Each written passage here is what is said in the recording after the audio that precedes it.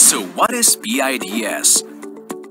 For over 40 years, the Philippine Institute for Development Studies or PIDS has been the country's foremost socio-economic think tank.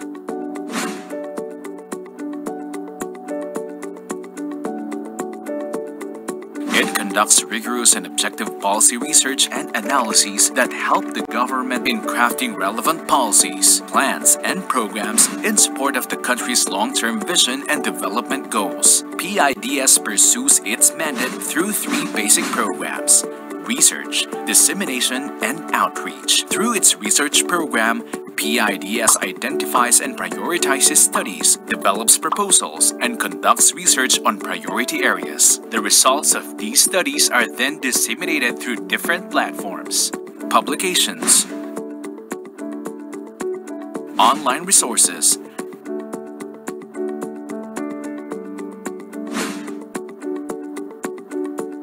PIDS Corner, seminars,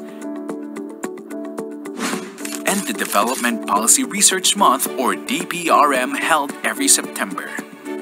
To shed light on key policy issues, the advice and expertise of the Institute's research fellows are also sought by policymakers, government agencies, private sector, and civil society. Since 1977, PIDS has completed numerous policy studies on a wide range of development topics. This brand of service has then translated to policies and programs that have improved the lives of every Filipino. Philippine Institute for Development Studies Service through Policy Research. In need of references for your research? Do you want a digital library that you can access for free anytime and anywhere? You don't have to look far. SERPI is here for you. SERPI is an online database of socioeconomic materials produced by the Philippine Institute for Development Studies. Government agencies, research and academic institutions, and international organizations based in the Philippines.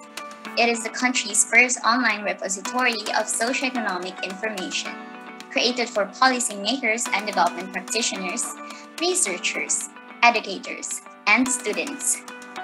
To access SERP, just visit the PIDS website and click the SERPI widget under the Databases tab or type serp-p.pids.gov.ph. SERPI has a wide variety of materials such as journal articles, books, research papers, working papers, policy notes, audiovisual materials, and more.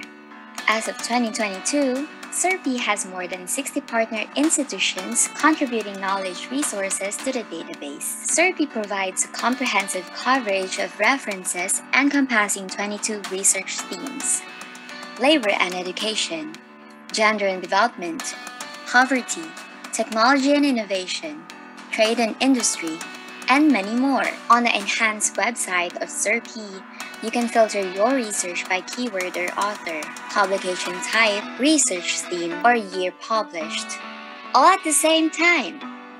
SERPI has more than 7,000 publications and audiovisual materials that you can access and download for free. What are you waiting for? Visit SERPI now. Socioeconomic Research Portal for the Philippines, innovating knowledge exchange and policy research.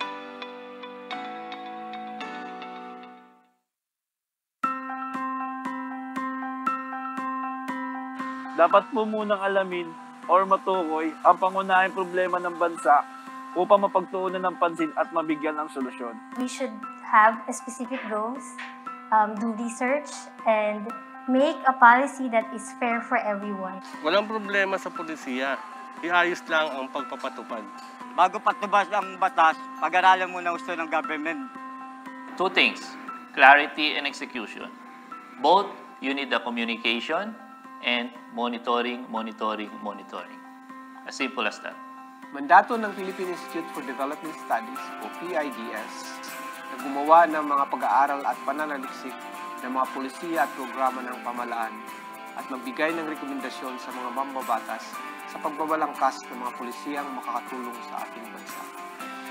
Sinusulong ng aming ahensya ang evidence-based policy upang bigyan din ng kalagahan ng polisiya na batay sa datos at policy research na sumusuri sa tunay na kalagayan ng ating mga komunidad. Napakahalaga ng policy research, lalo na sa mga panahong dumadaan sa krisis ang ating bansa. Kapag pulisiya ay pinag-aralan, susulong ang bayan.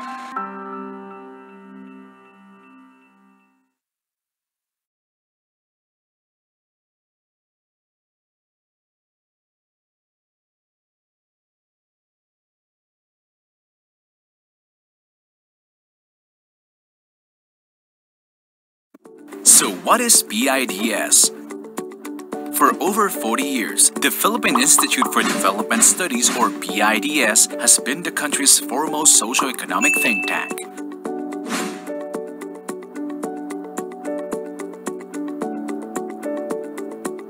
Conducts rigorous and objective policy research and analyses that help the government in crafting relevant policies, plans, and programs in support of the country's long-term vision and development goals. PIDS pursues its mandate through three basic programs research, dissemination, and outreach. Through its research program, PIDS identifies and prioritizes studies, develops proposals, and conducts research on priority areas. The results of these studies are then disseminated through different platforms, publications, online resources,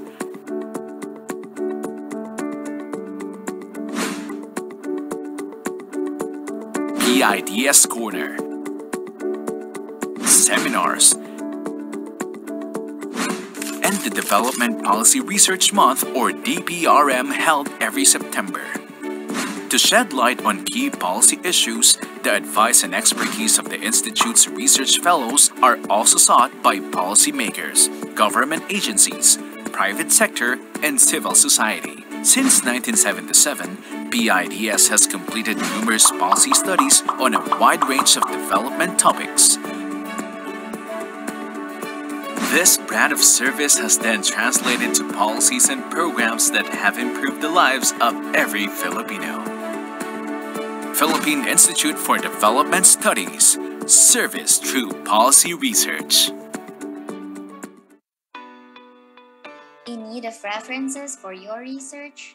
Do you want a digital library that you can access for free anytime and anywhere?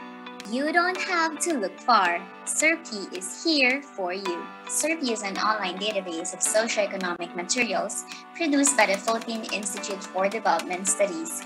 Government agencies, research and academic institutions, and international organizations based in the Philippines.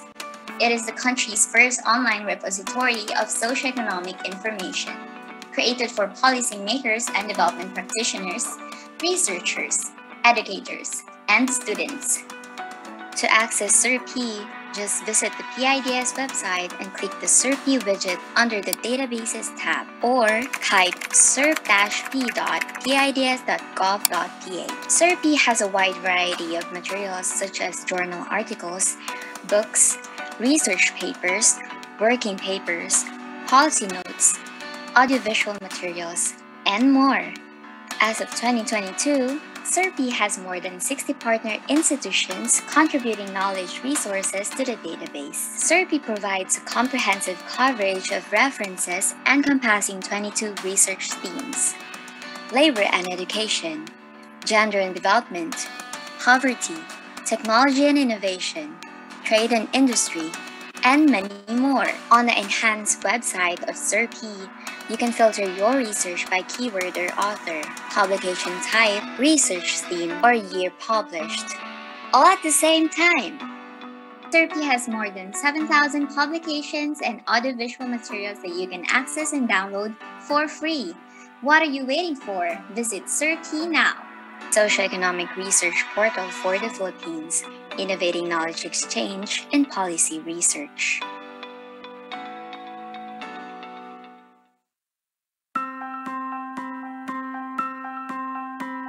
Dapat po munang alamin or matukoy ang pangunahing problema ng bansa upang mapagtuunan ng pansin at mabigyan ng solusyon. We should have specific goals, um, do research, and make a policy that is fair for everyone. Walang problema sa pulisiya. iayos lang ang pagpapatupad. Bago patubas ang batas, pag-aralan muna gusto ng government. Two things, clarity and execution. Both, you need the communication and monitoring, monitoring, monitoring.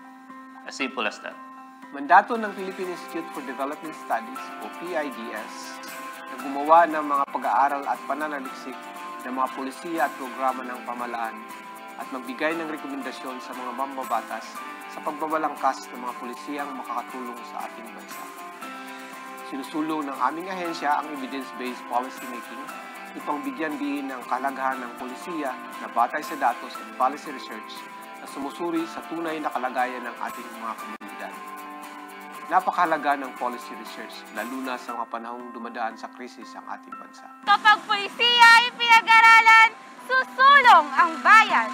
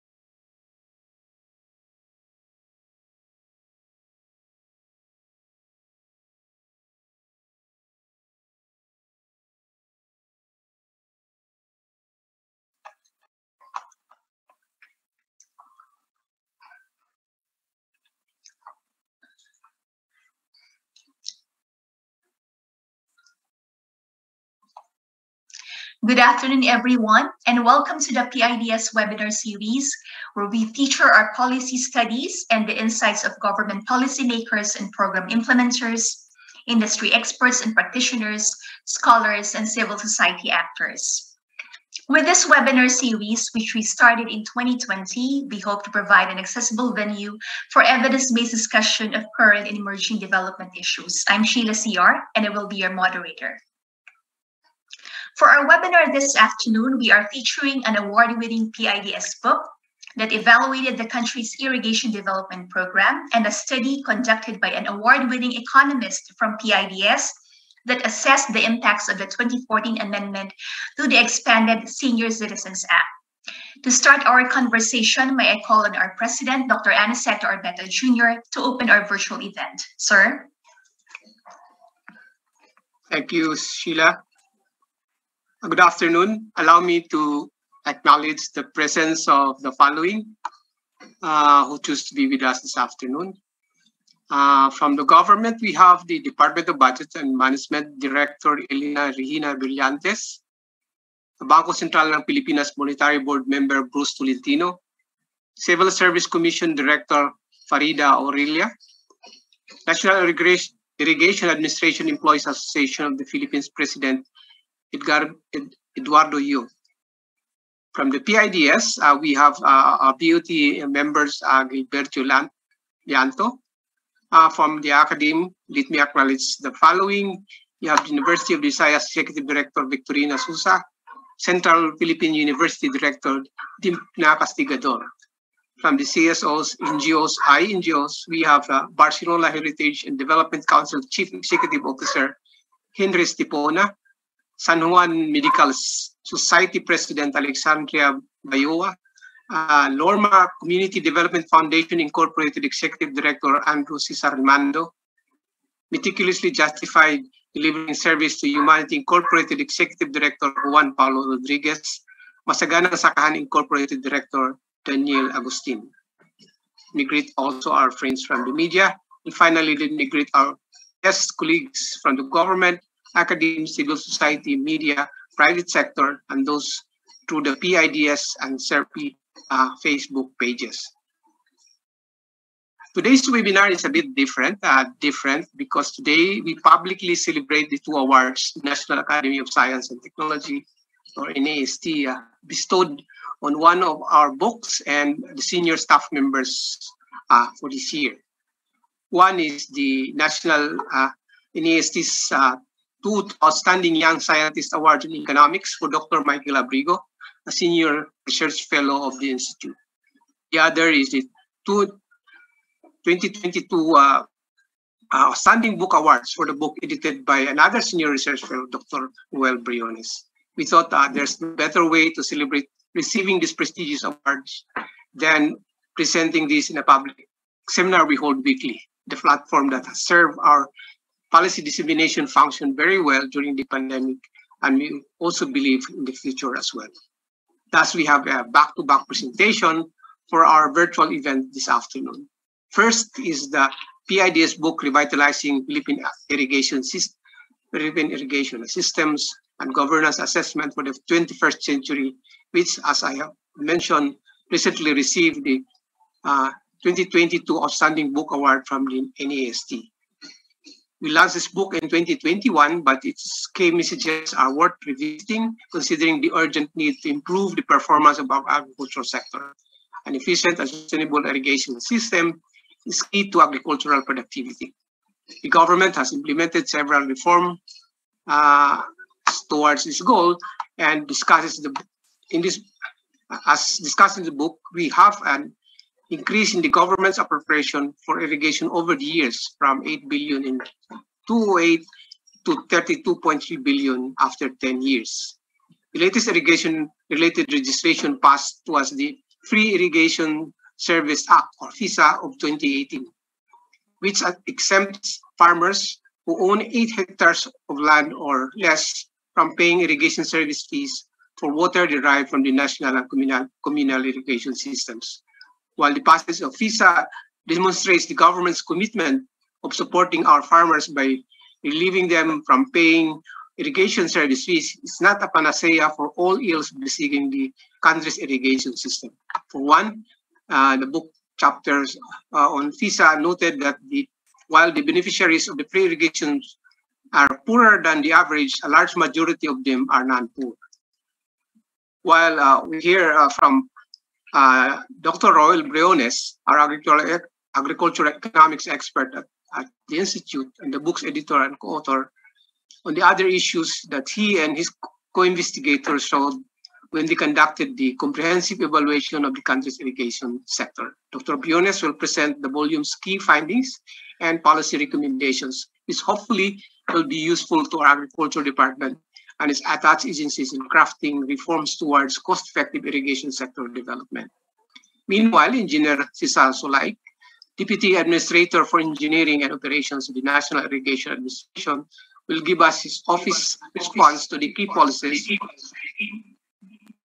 highlighted by the book and update, updates of NIA to address the issues in the irrigation sector.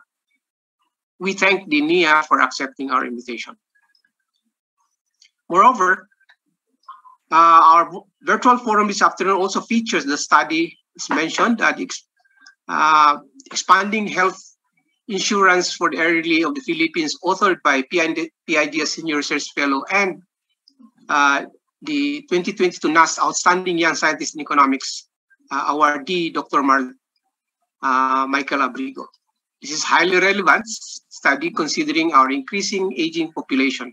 Based on the 2015 census and housing, there is there are around 7.5 million seniors aged 60 and above.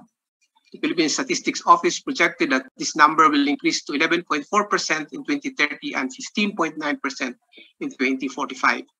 Meanwhile, uh, 2017 report of the United Nations projected the Philippines elderly population to grow to almost 15 million by 2050. Considering their important role, uh, their important role in society, we must ensure that our senior citizens are well taken care of. Besides being less economically active than the younger age groups, they are more susceptible to various medical diseases and comorbidities. The paper by Dr. Abrigo uh, evaluates how the 2014 amendment to the Expanded Senior Citizens Act affected insurance coverage and to what extent. In addition, it looked at the groups who have gained from the policy reform and how it affected the medical expenditures and utilization. To react to the presentation of Dr. Abrigo uh, and provide well health insights is Dr. Gilberto de Guzman, head of the Philippine CARES Management Office, PhilHealth CARES Management Office we are honored to have uh, that PhilHealth has accepted our invitation.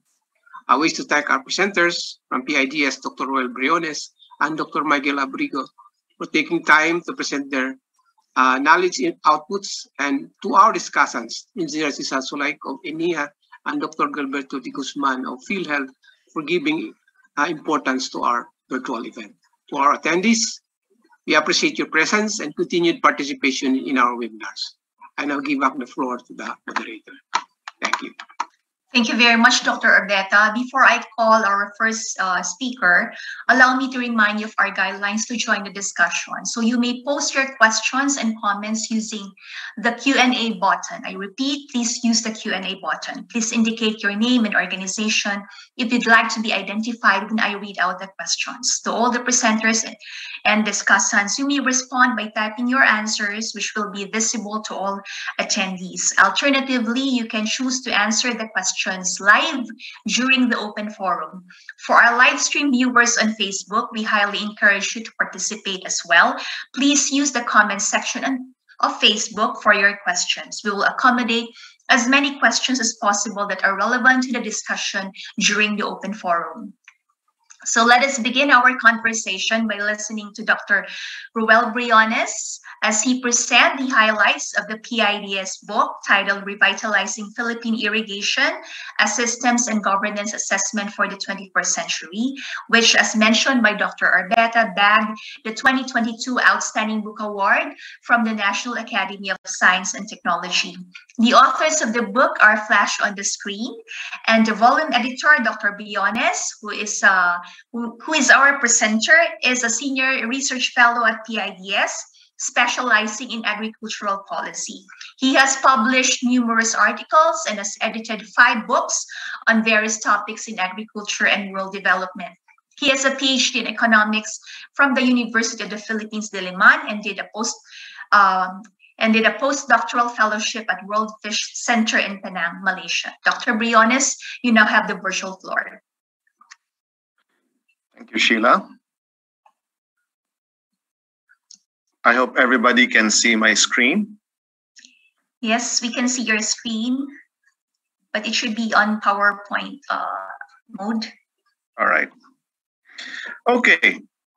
So um, I think uh, Dr. Orbeta already started mentioning uh, some of the issues uh, mentioned in the book. There are actually a whole gamut of issues that were discussed because, yeah, it required a book length treatment. But we will not be able to focus on any one of those issues, but rather this presentation uh, aims to provide a broad strokes uh, presentation of all of the contents of the book. First of all, why did we write it? No? We called it a revitalized irrigation program in the title, and that's no coincidence because if you look at the trend in irrigation, There was a heyday way back in the 1970s, uh, the martial law years, where the investment, so this is the public investment in irrigation chart. Uh, this is all translated uh, inflation corrected prices, no? So there was this heyday here, but then there was after from the 1980s onwards when the Philippines started uh, experiencing massive fiscal crisis, there was this collapse all the way up to the early 2000s. The resurgence happens from 2005 onwards. And so we're interested in seeing whether all of the billions that have been invested, accumulated since 2005, uh, what, uh, what impact has that had on our irrigation sector? Now, you might wonder why there was this resurgence in investment. Well, there was a world food price crisis in 2008. That's an interesting point because right now there's again a discussion of a current uh, food price crisis, uh, including fuel crisis and even fertilizer crisis. The resurgence also came uh, when the Philippines' economic growth was gathering momentum.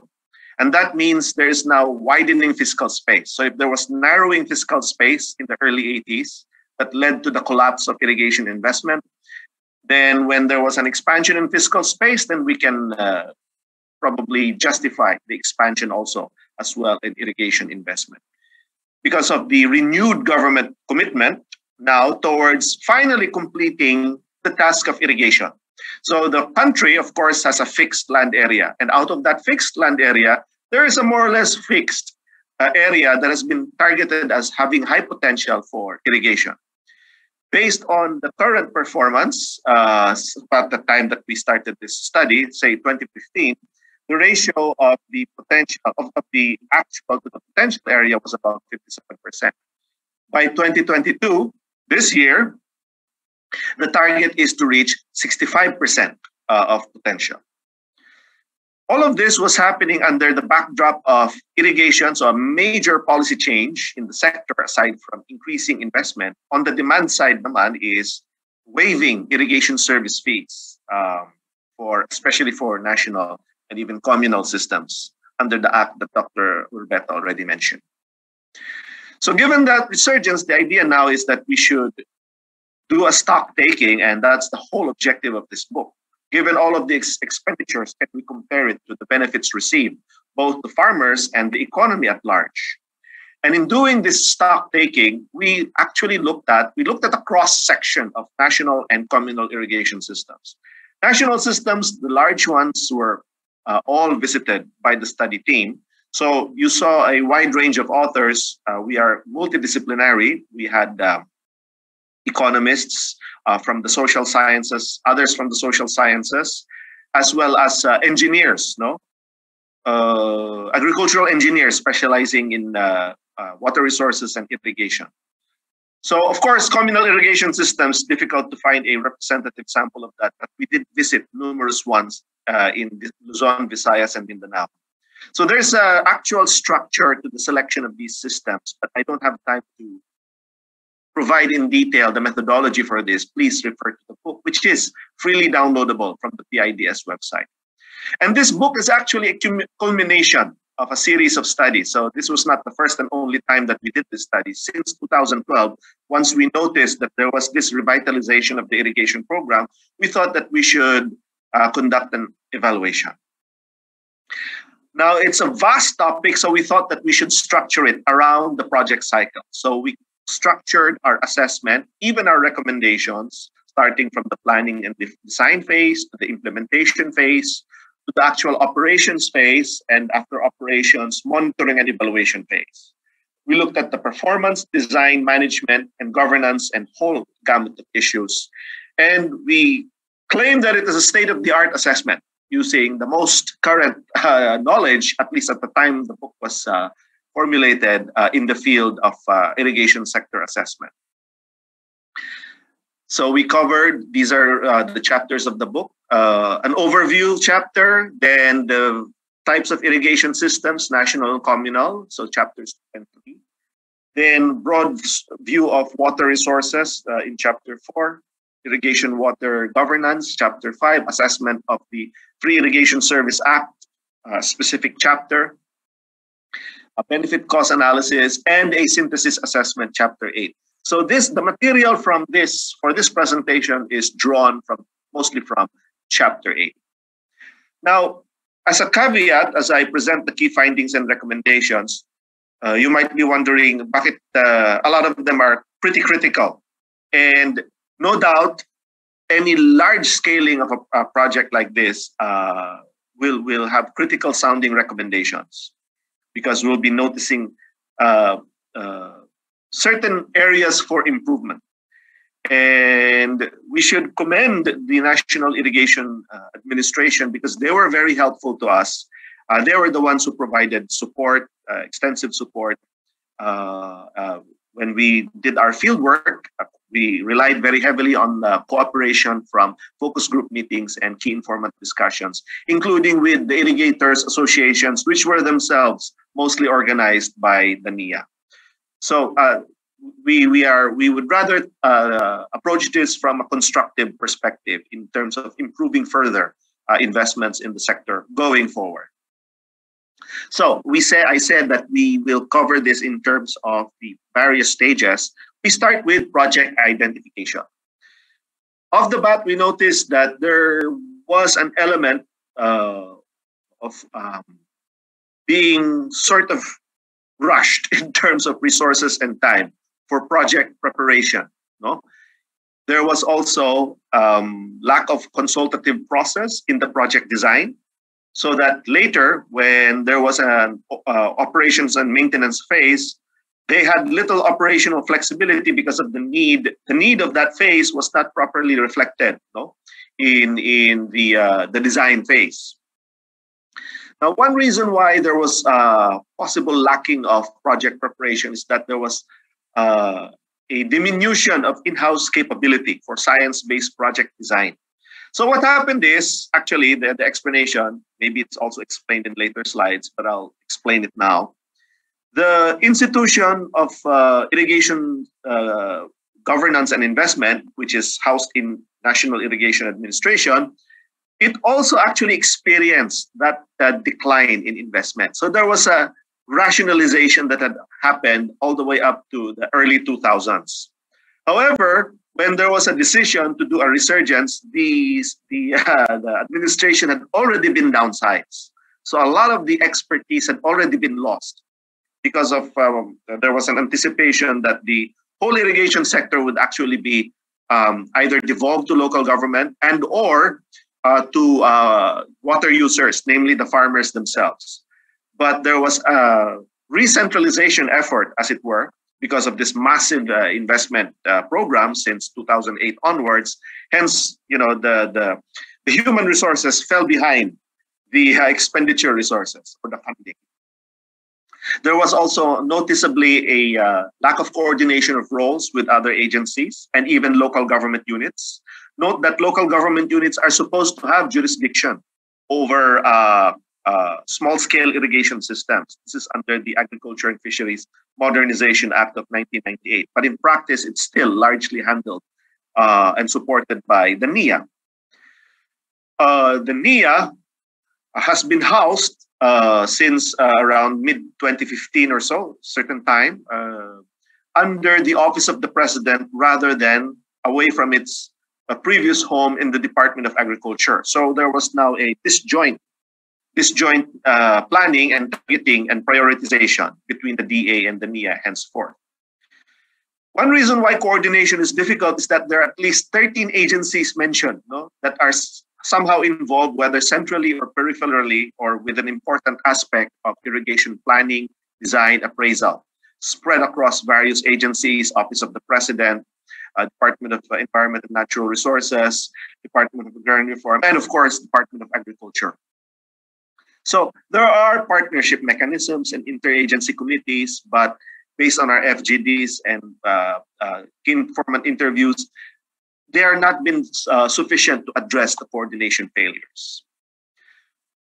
From the design phase, now we move to the implementation phase, which is mostly by procurement. Okay, so uh, the, the, it's not that common that we do a force account or in-house uh, production of irrigation facilities.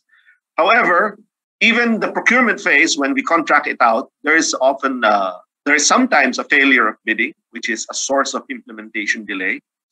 There have been also noted delays in budget releases. So, of course, we have this perennial debate between the agency and the DBM uh, who is at fault why the budget has not been released.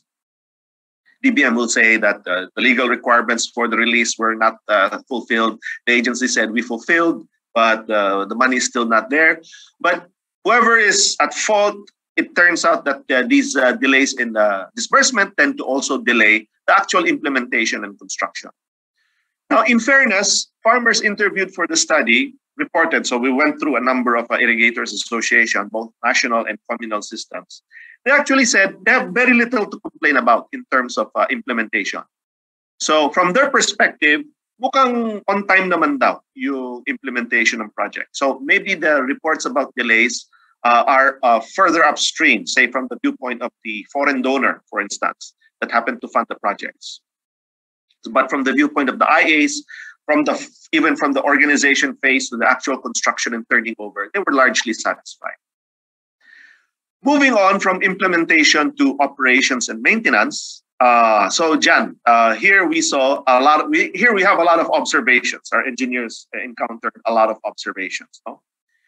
Uh, they found increasing. So there was degradation. So remember, we started from 2012. And in fact, there was increasing degradation and poor system performance across various scales. So whether we talk about the largest systems down to the smallest communal systems and the in-between reservoir systems, we have this uh, evidence of uh, or observation of degradation and poor system performance. What do we mean by this? For instance, control structures that are in need of rehabilitation and improvements. No? Sluice gates that actually could no longer move and then they're permanently up or permanently down position. No, uh, canals that had been filled up with silt, so are in need of desilting. Uh, embankments that had uh, collapsed and are in need of reshaping or heightening. Now, when we try to trace why we had these so many observations, it turns out perhaps one of the root cause is lack of funds to do proper operations and maintenance. So what happens is all of these uh, problems tend to accumulate because there was not enough uh, uh, resource allocation towards operations and maintenance.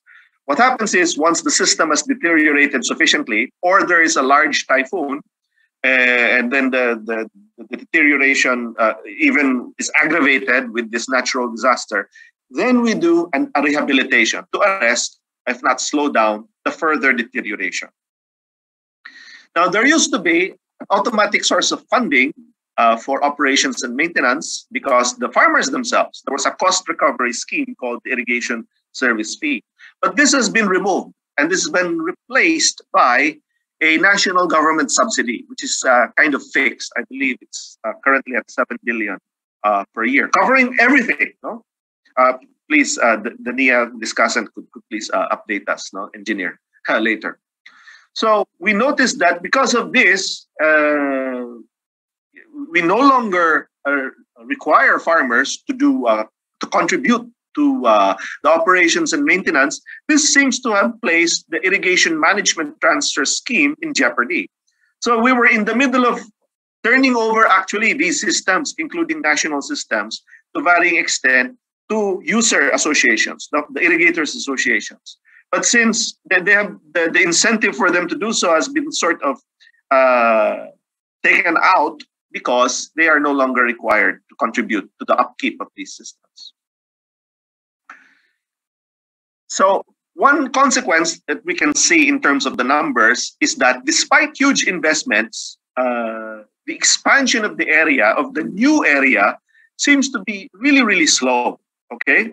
So, for instance, for 2010 to uh, 2016, we noticed that, and when we try to break when we try to break down the profile of actual projects being funded, it turns out that in that time span where there was already this multi tens of billions of peso annual investment, 70, 67% of the expenditure actually went to projects which were not new. So rehabilitation projects or restoration projects. Only 33% were directed to new or mostly new projects.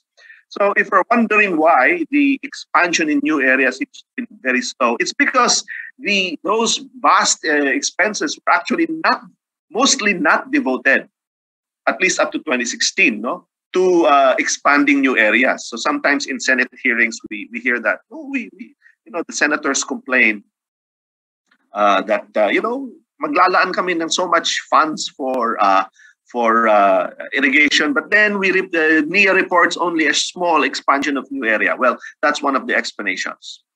So what's been happening is, uh, why is there such a huge investment, almost 70% going to uh, rehabilitation or restoration?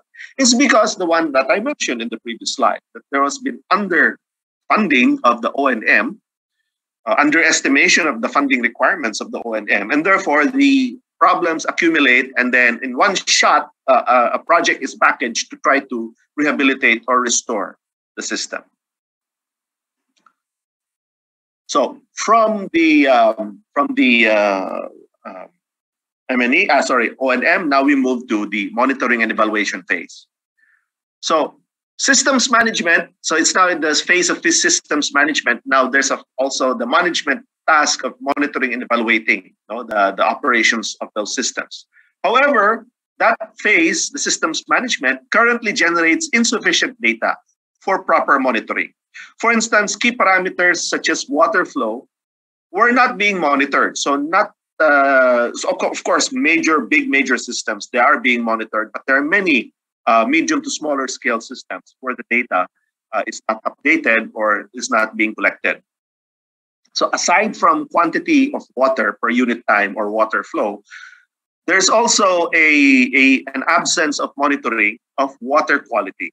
So uh, the, the, our review of national irrigation systems also conducted a water quality uh, analysis, and we found that there are grave concerns, uh, or serious, maybe not grave, no serious concerns about water quality usually traceable to illegal dumping from the communities that live around, in and around the irrigation systems.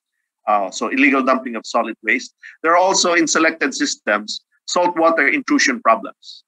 And this can adversely affect the health of farming systems, the uh, systems that are being uh, irrigated, as well as even the surrounding community, no? because uh, the canals become uh, a means of uh, transmitting noxious, noxious substances and even pathogens, depending on uh, the degree of, uh, uh, of quality of the deterioration in the quality of the water in the system. So those are all of our observations. Let me devote the last few minutes of this presentation to our recommendations. So we, we noted that uh, human resources had been lacking for uh, actually policy related reasons, uh, especially within NIA. Unfortunately, uh, all of the irrigation investment was not really channeled towards uh, restoring the previous level of human resource capacity. So what we recommend is have to admit that we need a lot of human resources for project implementation.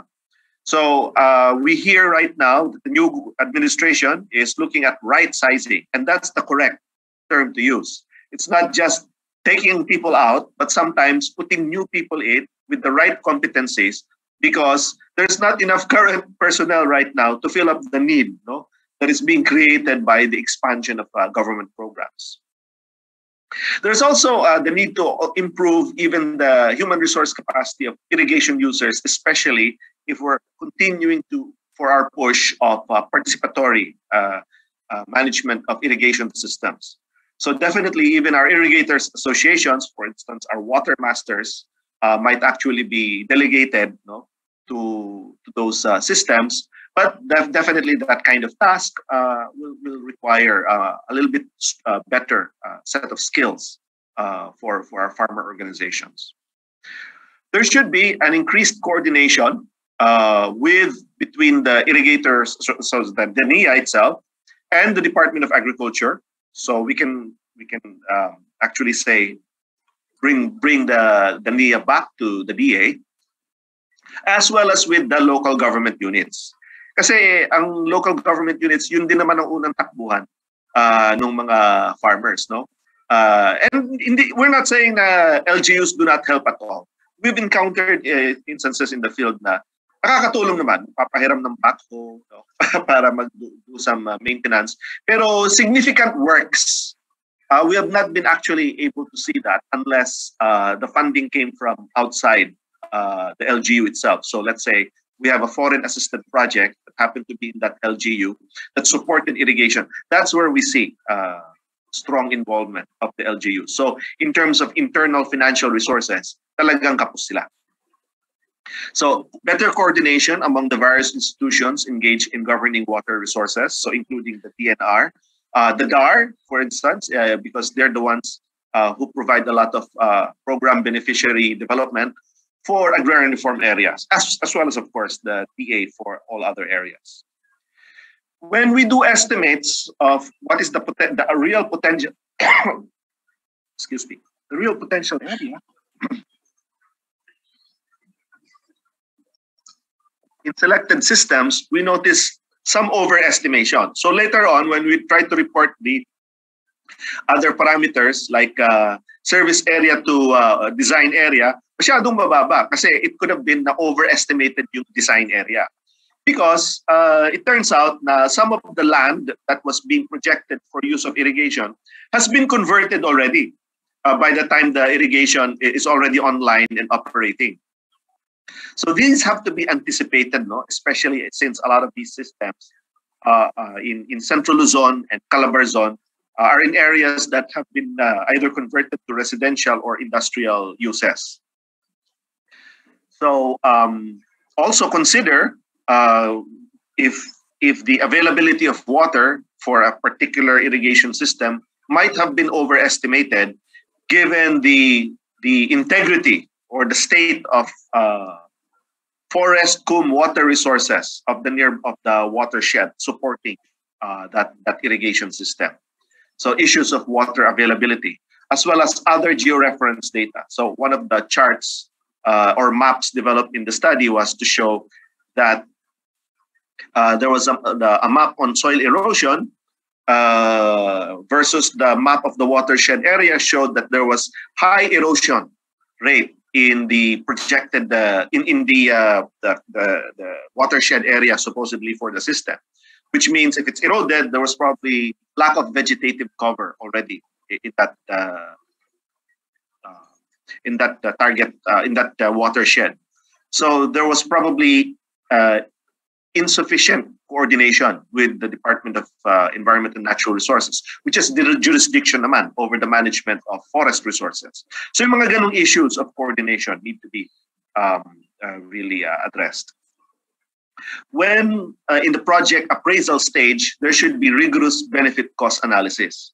So if, if we know that there is a typical tendency to overestimate the area uh, over time or underestimate the cost, uh, this should be already uh, uh, anticipated so that you know we don't invest the money uh, to to to um, areas where potentially the irrigation project is not actually worthwhile and deprive other areas and other communities where the the irrigation investment makes sense but somehow uh, kinulang sila kinapos sila ng investment. So important to make really rigorous benefit cost analysis down to the project level so if there's a need to adjust the physical target, maybe our physical target is too ambitious. No?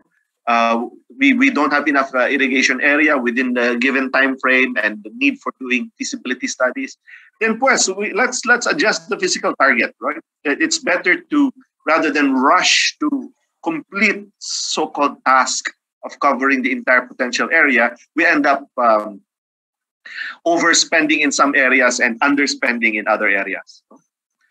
The system's design needs to be improved by incorporating terrain features, water availability, operational flexibility, user participation, and even crop diversification away from rice. So we noted in the field some tendency. I'm sure uh, NIA is already veering away from this, no? but in, during the time that uh, we were conducting the study, there was a strong and heavy bias towards uh, irrigation systems, towards flooded, no, uh, um, flooded agriculture that is common in rice growing. But other designs might be more useful in other areas such as sugarcane areas, corn growing areas. So the, the, the engineering is somewhat different. So Uh, if we allow for greater user participation and inputs from users, there might be a more flexible designing of um, of these systems, allowing for more diversified cropping systems aside from uh, continuous flooded rice agriculture. Especially now, by the way, no, dagdagan ko lang, na we have a Rice Tariffication Act that uh, allows more imports uh, in, into the rice sector and therefore it also encourages in certain marginal rice areas, especially diversification to improve the livelihoods of uh, erstwhile rice growing farmers. Now, in many cases, I mentioned a while ago the benefit cost issue. Uh, medyo kakapusin yung justification kung irrigation lang. However, if these facilities are integrated into multi-purpose projects like hydropower, which is common in a few large systems, or uh, in, integrate uh, drainage or flood control or other such uh, multi-purpose projects uh, and and uh, say potable water supply. Then there's a possibility with these multi-purpose projects to uh, be able to meet those benefit cost ratio standards no? Procurement and implementation bottlenecks. We need to troubleshoot the process flow and see how we can accelerate this. For operations and maintenance there should be adoption of what is called asset management method. I think this is now the current best practice now towards the uh, uh, operations and maintenance of irrigation systems, which incorporates financial, economic, social, and engineering considerations towards sustained functionality in a cost-effective way. The O&M funding, which I said has, has been underestimated, taasan na lang siguro natin yung estimation. That's why it's it's really important that uh, we we devote enough funding now rather than you know wait for the needs to accumulate and hope that there will be uh, isang bagsak no malaking funding for restoration irrigation. Better to have a more even distribution of the funding over time by allocating enough O&M. Integration of watershed management into irrigation system management. There were uh, identified 150 plus, I think, no uh, critical watershed areas uh, under a DA project before. Uh, I'm, I'm wondering if there are any updates as to whether uh, those critical watersheds, there's been proper coordination with the appropriate agency like DNR and local governments uh, in terms of improving the state of those critical watersheds. Uh, data collection needs to be improved and deplo- uh, latest information technologies deployed, for instance, parcellary surveys based on GIS so that a, the whole command area can be properly mapped down to the parcel level and the canal level. Uh, towards the adoption of more analytical approaches, I, as I mentioned, geospatial and mapping approaches. Uh, resource assessment of water potential, we, we tried in one of those chapters to uh, provide a demonstration of how uh, a modeling approach, a mathematical modeling and simulation approach might be helpful in uh, irrigation system evaluation and um, and monitor and uh, uh, future operations. Oh, okay. So that was the whole gamut of of, of our, our, findings.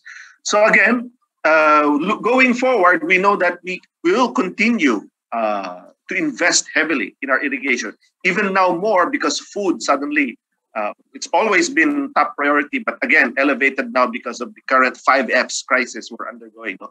Food, feed, fertilizer, fuel, and finance. No? Uh, hopefully, uh, this uh, book will be of renewed relevance uh, under these conditions. Thank you. And thank you very much, uh, Dr. Briones, for that concise but meaty uh, presentation of the um, main messages and main messages of the book, as well as uh, important uh, recommendations to address the issues that you saw in your comprehensive evaluation of the irrigation sector. So keep those questions coming, friends.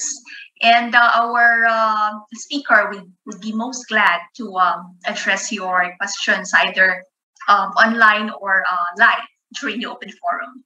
So we invited an official of the National Irrigation Administration or NIA to react to the key points highlighted in the book and give also give NIA's perspectives and insights on the development of the country's irrigation sector.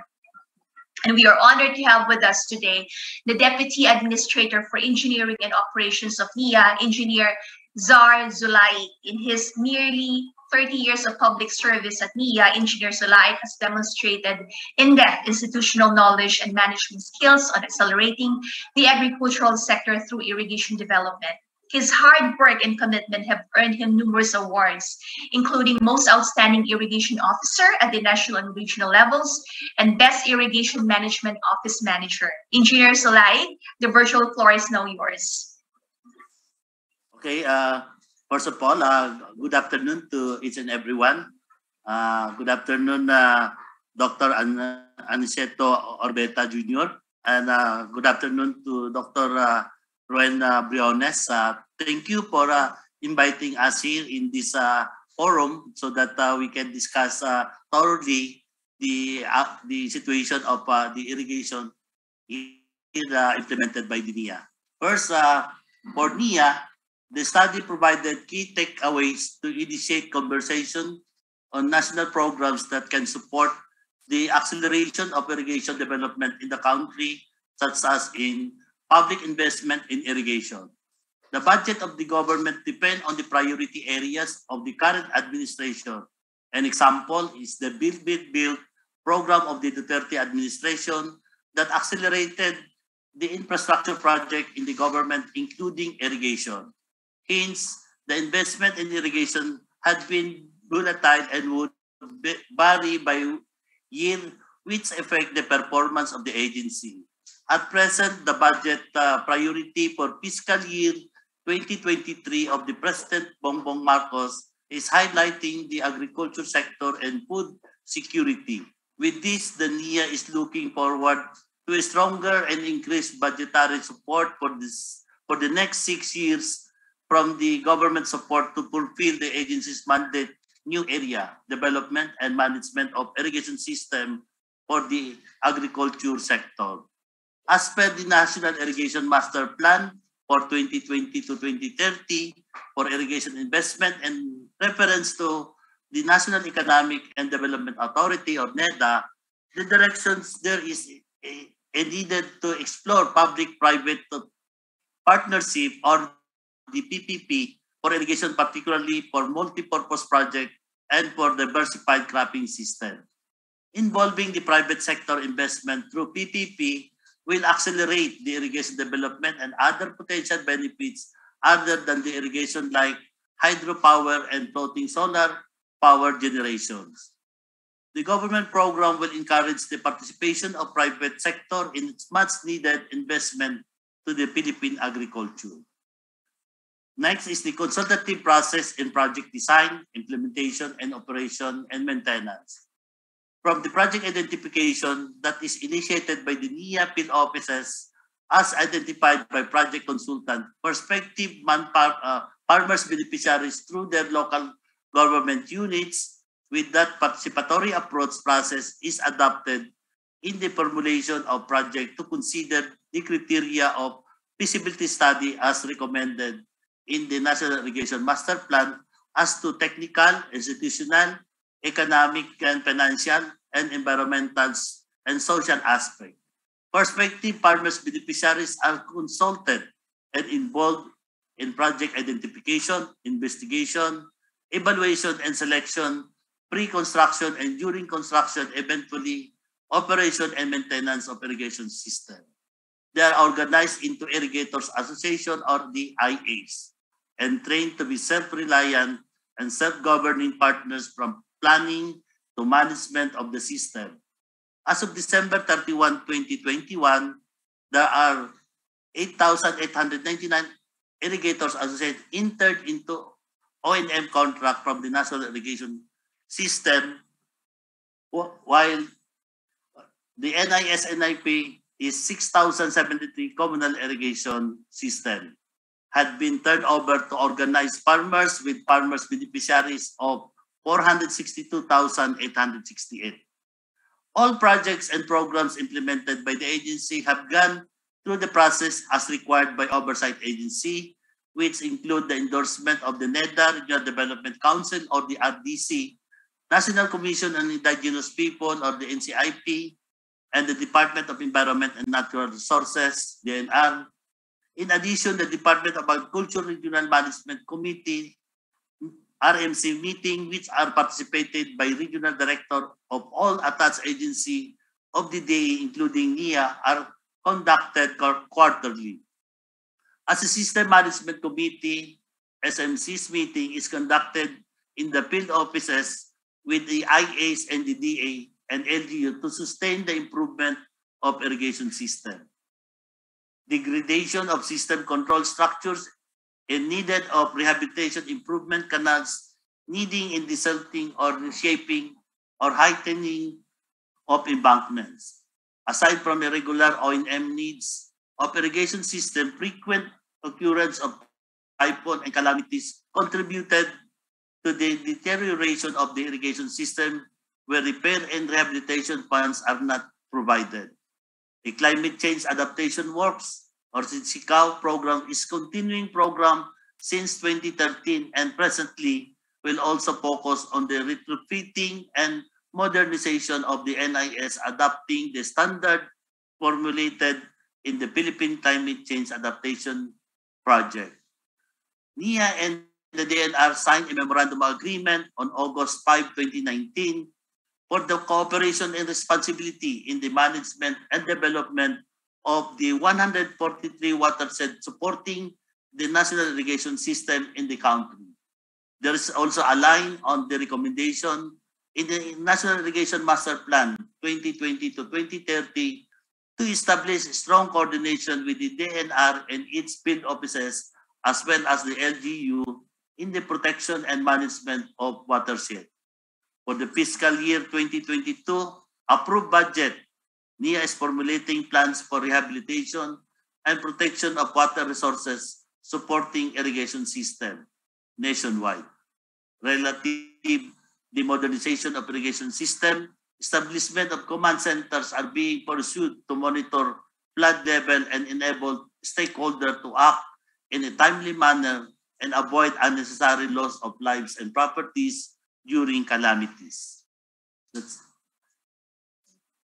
that's all, and uh, thank you uh, the, the, for for uh, for us. Uh, these are all the presentations of NIA. Thank you very much, Engineer Sulaik. Um, we'll we'll hear more from Engineer Sulaik during the open forum. Okay, so I think uh, okay. Now let us proceed to the second presentation. Okay, so from irrigation, let us jump to social services, particularly to health insurance for our senior citizens. And the study was authored by uh, Dr. Michael Abrigo, uh, Dr. Timothy Halliday, and Dr. Uh, Teresa Molina.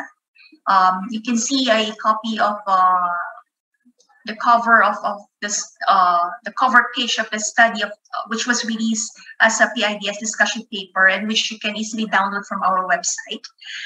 And to present the key findings and recommendations is Dr. Michael Abrigo, who is a senior research fellow at PIDS. Dr. Abrigo started as a research analyst at PIDS in 2008 and eventually rose through the ranks um, became a research fellow in 2017. His research focused primarily on the welfare implications of demographic change and of human resource policies, although he has also conducted studies on other topics such as on public finance, climate change, and resource economics. He was recently awarded, as mentioned by Dr. Orbeta, the 2022 Outstanding Young Scientist in Economics Award by the National Academy of Science and Technology. Dr. Abrigo, the floor is now yours. Thank you so much, Sheila, and thank you for the introduction. Uh, I, I, know I wouldn't get the award without me being at PIDS, but that's a big part of me being a researcher. Um, may I have the slide flash on the screen, please? Uh, thank you so much. Uh, as mentioned by Sheila, this study is uh, is a collaboration with uh, with colleagues from the University of Hawaii, from IZA Institute of Labor Economics, uh, Tim Halliday and Teresa Molina. and this is part of a story of a series of research that I'm doing uh, about um, health in the Philippines, about particularly on social health insurance and how it impacts uh, welfare of people in the Philippines. Uh, next slide, please.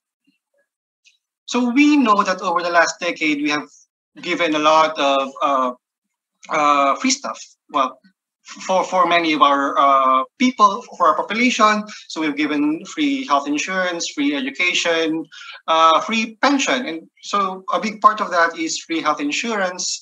And part of that story is because we've got these uh, big endowment from the 2012 sin tax law. So makita nyo, uh, after 2012, we got this big bump on primary membership in our PhilHealth, And that is largely driven by the number of indirect members, kasama din yung sponsored members, indigents, uh, senior citizens. Uh, and uh, next slide, please. Part of this is because we want as a society to have health for all. And part of that story is that uh, for the longest time, we've been trying to push down yung out-of-pocket health expenditures uh, to go down. So kasama yan dun sa ating uh, PhilHealth law, uh, National Health Insurance Law in 1995 and eventually uh, when it was uh, updated. So with the end view of quality assurance, increased benefits, and reduced out-of-pocket expenditure. So usually ganito yung uh, tenor ng discussion when we talk about social health insurance and why we need PhilHealth uh, in our lives as Filipinos. Uh, next slide. Uh, and for the most part, uh, we did several studies on how these has impacted uh, some parts of our population. So in 2019, we have another study looking at how four Ps, and because of when you're four Ps, automatically covered ka rin ng uh, ano yung impact nun sa um, access to healthcare and dun sa health expenditures ng mga bata, mga mahihirap na bata. And what we found is that uh, to induce greater hospital visits for both preventive and curative care. Uh, and one of that uh, one of that uh, impact that we estimated is that uh, yung isang mahirap na bata na merong sakit, pag meron siyang insurance kasi meron siyang four-piece, um, mas malaki yung chance niya na pumunta, magpakita sa ospital sa isang healthcare practitioner by 25 percentage points. That's quite big. And another part of the story is that uh, kung meron kang lowest out-of-pocket health expenditures among poor children. So we've documented that. Uh, and the other part of the story, so mula bata, yung mga matatanda naman. Next slide. So yung around 2010, 2013, uh, nilibre natin yung mga mahihirap, kasama doon yung mga, mga batang mahihirap. Uh, but in 2010, ginawa rin natin yun for the elderly. So we granted additional benefit to senior citizens, including blood coverage to all indigent senior citizens. Indigents lang. Mga mahihirap lang ng mga senior citizens in 2010. But eventually in 2014, uh, kinover na niya lahat ng senior citizens. In 2010, uh, medyo hindi hindi pa siya ganun nag-expand uh, and part of part of that is maybe because this is funded by the LGUs. So kung may pera LGUs they can fund uh, spon they can sponsor the PhilHealth uh, coverage of senior citizens. But in 2014 after the sin tax law uh, yung pang mga hindi kasama wala pang PhilHealth na senior citizens uh, they were covered uh, through sin through ano uh, through taxes that were uh, generated from sin tax law. Next slide, please. Uh, so, so, why is it important to to to look at uh, senior citizens and how they got uh, PhilHealth? Well, one part is that uh, on on the one hand, we want everyone to have access to healthcare and having health insurance uh, facilitates that access to healthcare. But then on the other hand, the Philippines is aging, as mentioned by Dr. Orbeta earlier. Uh, so um, in the next uh, decade, we would be an aging, popula- aging population. In another generation, we would be an aging population. And with, uh, and kung parati natin libre, kung libre yung uh, health insurance ng, ng mas matatanda, and usually mas, mas mahal uh, yung healthcare ng matatanda, uh, then that would mean, uh, paano natin babayaran? Sinong gubayad niyan? Uh, will there be enough? Pag marami ng, pag sobrang marami yung matatanda, will there be enough workers to pay for their uh, health insurance? Eh, but, but sino ba yung matatanda in the first place? So on average, this is based on uh, 2018 Family Income and Expenditure Survey by the PSA. They are less likely from poor household. They have usually have higher income expenditure per capita. Bakit? Because they survived into old age. So ibig sabihin nun, kung nag-survive sila into old age, they are usually better endowed when they are younger. So better yung healthcare nila, better yung education nila. And through these periods from from their working sa, sa prime age nila, ng pagtanda nila, they are able to accumulate wealth, which they are able to use when when they become senior citizens. But then not all elderly are alike. We know uh, from the literature, from data, that uh, mas malaki yung inequality among older than younger population. So kahit on average mas mayayaman sila, we have these uh, pop, these uh, elderly na hindi maganda at hindi na, mas hindi nakaka-access ng healthcare services. Next slide please. This dito dito pumapasok yung study. Uh, we want to answer essentially three simple questions. Una, how did the expanded Senior Citizens Act affect insurance coverage for elderly Filipinos? Who was impacted by the expansion? And how did insurance coverage affect medical expenditures and utilization? So, simple lang yung mga tanong na gusto namin sagutin. Uh, next question, uh, next slide. So kung ito yung last slide na makita nyo uh, for this presentation, ito yung pinaka-importante essentially what we found was that uh, the Expanded Senior Citizens Act increased social health insurance coverage by 10 to 20 percentage points. That's quite huge. Uh, those who were affected tend to be middle class, family, and in some dimensions, they are high, util uh, high utilizers, suggesting adverse selection um, into insurance. And contrary to expectations, sabi natin as a policy, we want to lower out-of-pocket expenditures. But here, what we found was that out-of-pocket medical expenditures increased by over 100%, driven by non-covered uh, expenditure categories, so outpatient services and medicines. And what we found is that the evidence is consistent with outward shift in medical care demand. So, uh, mas intensive yung margin, uh, uh, mas malaki yung intensive margin effects. So, uh, later I will discuss, uh, there's also increase in chronic disease diagnosis. And this is consistent with studies elsewhere in other studies. Now, when uh, they provided social health insurance, uh, instead of bumaba yung out-of-pocket expenditures, actually mas tumaas siya. Okay, so ito na yung details ng study. Next slide, please. So, to be able to do yung mga estimation, uh, we we use yung Expanded Senior Citizens Act as a natural experiment to study the, the, impact of health insurance coverage among the elderly. So we did difference and difference. Uh, we exploit yung characteristics nung, nung, nung batas na, uh, dahil sa batas na to, nung 2014, kung ikaw ay 60 years old and over, meron kang biglang uh, instant coverage ng PhilHealth insurance. So, and we use this uh, eligibility as instrumental variable for insurance coverage. Yung technical details I will not uh, discuss further, but it's uh, available in the published report as shown by Sheila kanina. Next slide. So, for this, we used uh, representative sample surveys from pre and post ESCA legislation. So, yung annual poverty indicator survey from 2014 and 20, for 2014-2016, the National Demographic and Health Survey for 2013-2017, both uh, from the by the Philippine Statistics Authority. Next slide, please. So for first question, um, how did expanded how did the expanded Senior Citizens Act affect insurance coverage for elderly Filipinos? Next slide. So I will show you uh, four panel, two panels, uh, four graphs.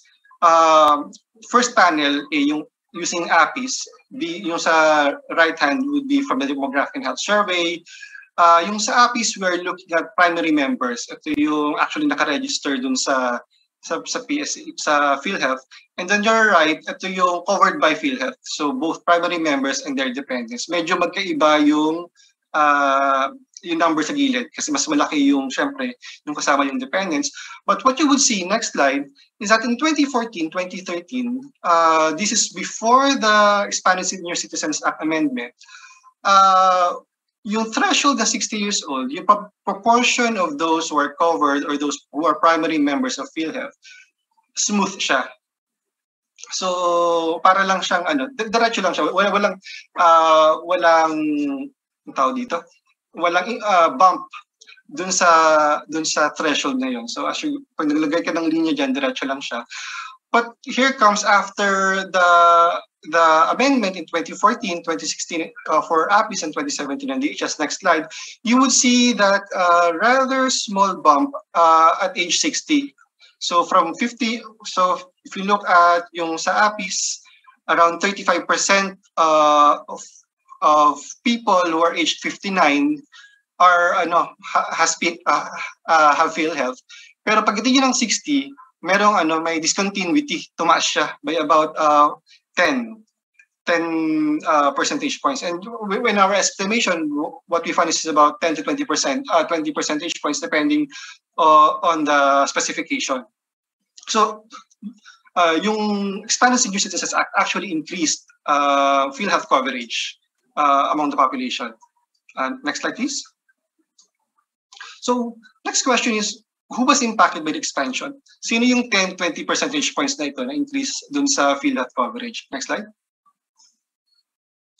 So this is an important question kasi yung impact estimates namin, yung ano yung epekto niya dun sa mga tao, uh, which will be answered in the next question, uh, refers to, ed- to the elderly population who are induced into having insurance coverage because of S of the Senior Citizens Act. Nagkaroon siya ng PhilHealth kasi na-cover siya nung, nung Expanded Senior, Senior Citizens Act. These are what we call the compliers. Uh, but the compliers cannot be identified directly. Hindi mo makita yung tao at sabihin mong complier siya. But what we can do is to have their average characteristics uh, identified uh, based on some technique. And this is important uh, for, from a policy perspective kasi ang gusto natin, uh, yung kaya maka-afford ng insurance, they should pay. And those who are not able to cover, uh, we should pay for them. So, so ganun ba yung nangyari? So the idea is that we use the uh, Spanish Citizens Act as a natural experiment. So meron tayong pre-post and we have uh, age eligibility and this allows us to identify the average characteristics of the always takers. Ito yung mga tao na meron mang Senior Citizens Act o wala, meron silang PhilHealth. Yung always takers and then treat compliers, ito yung sinabi ng compliers kanina na, na walang PhilHealth.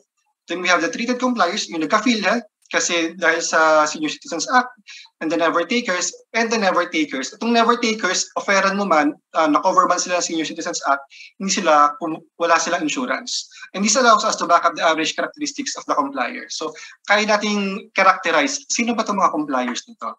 So, yung details, yung uh, technical details are also available in the published report. So, next slide. So, sino yung mga compliers natin? Ano yung characteristics nila? Next slide. Uh, first, uh, next slide please. Uh, first, they are less likely male. They are more likely female. So yung mga graphs, ito yung proportion ng male. Itong first uh, column, proportion ng male dun sa data so, who are always takers, compliers, never takers, and then the average. Okay, and as you can see, uh, around uh, 60%, around 60% are female dun sa mga compliers. In the next slide, you would see naman uh, not they are more likely middle class by education or income uh, or income and wealth. Bakit? Next slide. These, these results are not uh, surprising. Una, they are more likely female because males are more likely continuously employed during their prime age and therefore they're covered by PhilHealth uh, nung habang habang nagtatrabaho sila and pag if they provided enough for in, to field health, uh, they would be part of lifetime membership program. So pag retire nila, they're part of the lifetime membership program. Hindi sila kasama dun sa na-induce nung amended Senior Citizens Act. And we know from the data that female labor force participation is only around 50% compared with uh, 70% plus for males. And that females exit from the labor force, usually this is timed with childbearing uh, based on uh, other studies. And females may be covered as dependents uh, even before the Senior Citizen Expanded Senior Citizens Act. Uh, but these are not automatic. Kailangan mong enroll siya as a dependent. And they're slightly less generous with additional dependents. So kung mas marami kang dependents, share sila dun sa benefit ng dependents. So pag mas marami, mas maliit yung benefit. And they are more likely middle class. Bakit? Because yung poor, uh, even before the Senior Citizens Act uh, expansion, the amendment, they're automatically covered through the four Ps under PhilHealth sponsored programs. Yung namang mayayaman, they are more likely covered through direct contribution, kaya nila magbayad ng PhilHealth. And they, eventually, they would eventually graduate to lifetime membership upon retirement. So, uh, yung gusto nating targetin, yung mga walang PhilHealth uh, over the course of their lifetime, sila naman yung compliers dito sa ating uh, program. Next slide, please. So, yung ating uh, complier analysis can be, can be also used for selection into program. So, uh, this is a big question in, in insurance. Kasi ang gusto natin, uh, lahat nakakakukuha ng insurance. Kasi, uh, well, this is a question. Are those who are more likely to use insurance more likely to obtain insurance coverage? Kasi kung ikaw yung kung ang la, kung ang karamihan ng kumukuha ng insurance ay yung may mga sakit at yung cost ng healthcare ay hinahati lang naman sa mga sa mga taong nagbabayad ng insurance, din ibig sabihin pag mas likely na magkaroon ng insurance yung may sakit, tataas yung cost ng insurance eventually. And eventually, uh, sobrang mahal na siya, wala na makakapagbayad ng insurance. So gusto natin, uh, walang adverse selection into insurance. And one way to do that is to have a universal uh, health insurance coverage na lahat magbabayad. Lahat would be able to contribute uh, to that uh, system. So next slide. So we used the same technique to identify meron bang uh, adverse selection dito sa ating social health insurance, sa ating PhilHealth.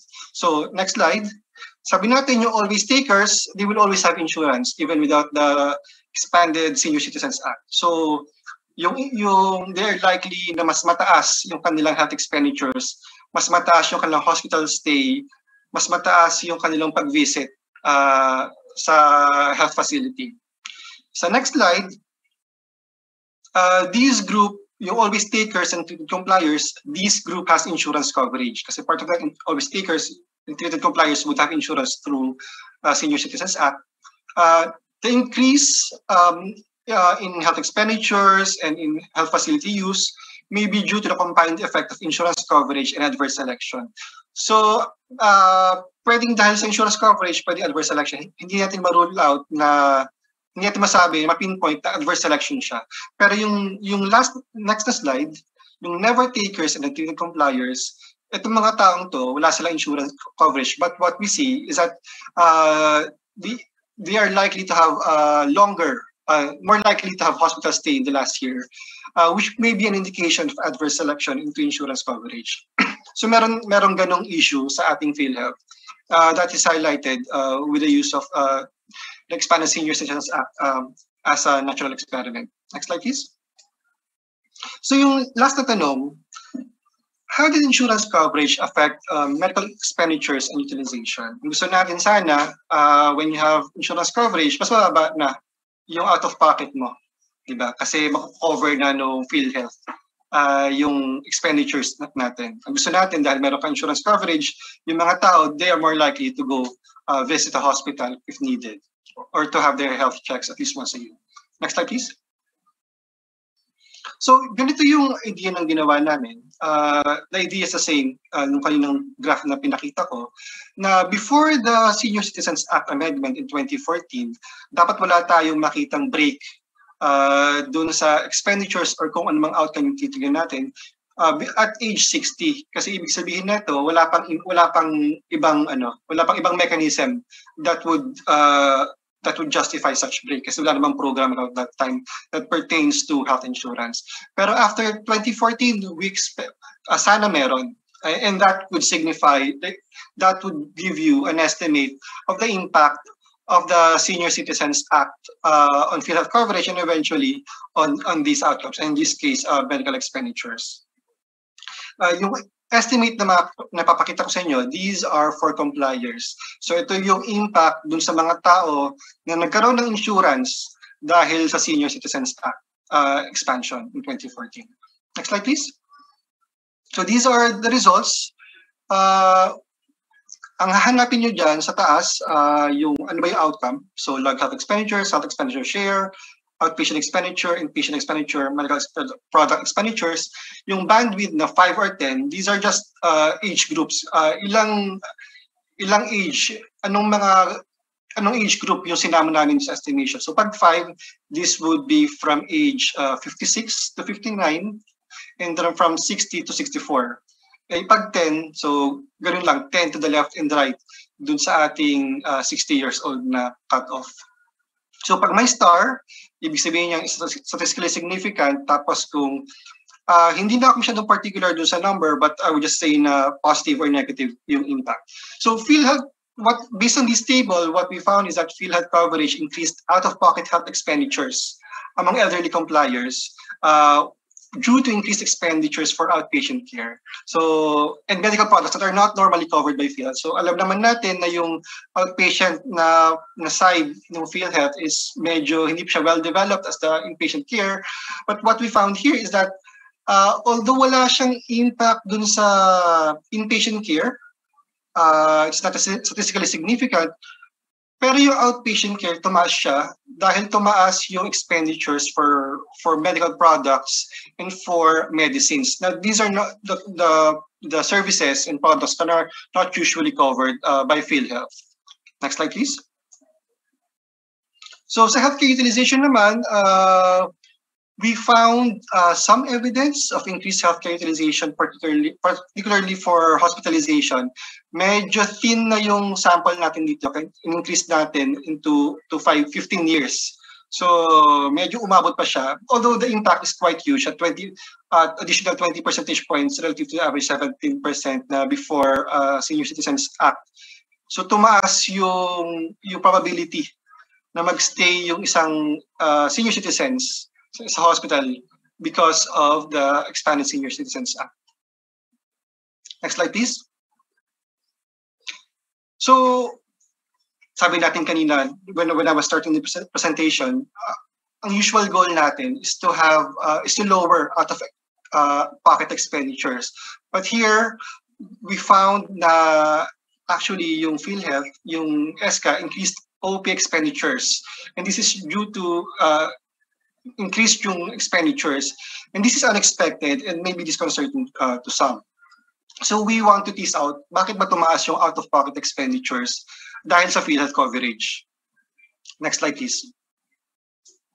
So, ano yung posibleng mechanism? So, one thing that we're uh, thinking was that baka yung mga matatanda, uh, when, they, when they are almost uh, 60 years old, they withhold going to to uh, going to health facilities, uh, seeking health care. Kasi pagdating nila ng 60, magkakaroon na sila ng health insurance. But when we look at the data, this that explanation uh, is not consistent with the data. Kasi noong 2014, we found that uh, between 2014 and 2016, we found that there's lower health expenditures across all age groups uh, from 2014 to 2016. And yung uh, pinakamalaking bagsak was actually in their late 50s. Kung ikaw maghihintay ka ng healthcare, siguro makapaghintay ka ng isa dalawang taon for your health insurance. Pero yung five years, parang medyo masyadong malayo na yun para isipin na magkakaroon ako ng health insurance when I turn 60, so hindi muna ako magpapakita sa doktor ngayong 55 ako. So, uh, hindi, hindi, siguro hindi ito yung rason. So, next slide, please. Uh, another mechanism that we're looking at is that maybe yung mga, yung increased utilization actually leads to greater point of care enrollment in PhilHealth. So ang sabi natin kanina, yung PhilHealth, uh, res- PhilHealth coverage resulted to greater out-of-pocket expenditures. Ang sinasabi rito, baka pag pumunta ako sa hospital, mas malaki yung mas malaki at nalaman kung pwede ako mag-enroll sa health sa PhilHealth, doon magpapa-enroll ako. So uh, makikita ko sa data yung mga nag-enroll kasi pumunta sa hospital. Uh, and when we look at the data, this is also unlikely kasi yung point of care enrollment uh, of PhilHealth remains a small program of our social health insurance. So even with the unlikely chance that all point of care enrollees are senior citizens, uh, these constitute only about 1% of all senior citizens covered by PhilHealth. So, so maliit lang siya. And even we, if we take that into account in our estimates, maliit lang yung magiging uh, change do sa point estimate natin on the impact on out-of-pocket expenditures. So baka hindi ito yung mechanism. And plus, yung senior citizens, uh, they are more likely to enroll when they get their senior citizens card because they can, you can also get your PhilHealth coverage, your, your PhilHealth membership. Uh, kasabay na. Uh, isang office na lang sila. Okay, so baka hindi ito yung hinahata natin na ano, na mechanism kung bakit ganoon ng bakit tumaas yung out of pocket expenditures because of PhilHealth coverage. Next slide, please. Yung last namin na tinignan is maybe because uh, tumaas naman talaga yung ano, nag, nagpakita sa doktor. And we look at uh, yung diagnosis. These, these are ano, uh, stated diagnosis ng mga ng mga tao ng sa demographic ng health survey. So what we found was that uh, those who are age 6 and older, uh, in 2017, mas mataas yung nagsabi na uh, meron silang chronic condition, mas mataas yung nagsabi na meron silang hypertension. And uh, historically, we know that uh, chronic disease diagnosis is low due to severe underdiagnosis. So for instance, in our data dun sa Demographic and Health Survey, we found that hypertension, nung kitanda, ang sabi nila, uh, 5% lang sa kanila yung merong hypertension, Uh, but estimates uh, uh, from the DOST, uh, what we found was that about 35 to 40% ng prevalence siya sa Pilipinas. So severely underdiagnosed yung chronic disease sa Pilipinas. And maybe kaya tumaas yung out-of-pocket expenditures uh, because because now they have field health, they have increased contact with the healthcare system. Uh, mas malaki yung chance na mag-diagnose sila ng tama.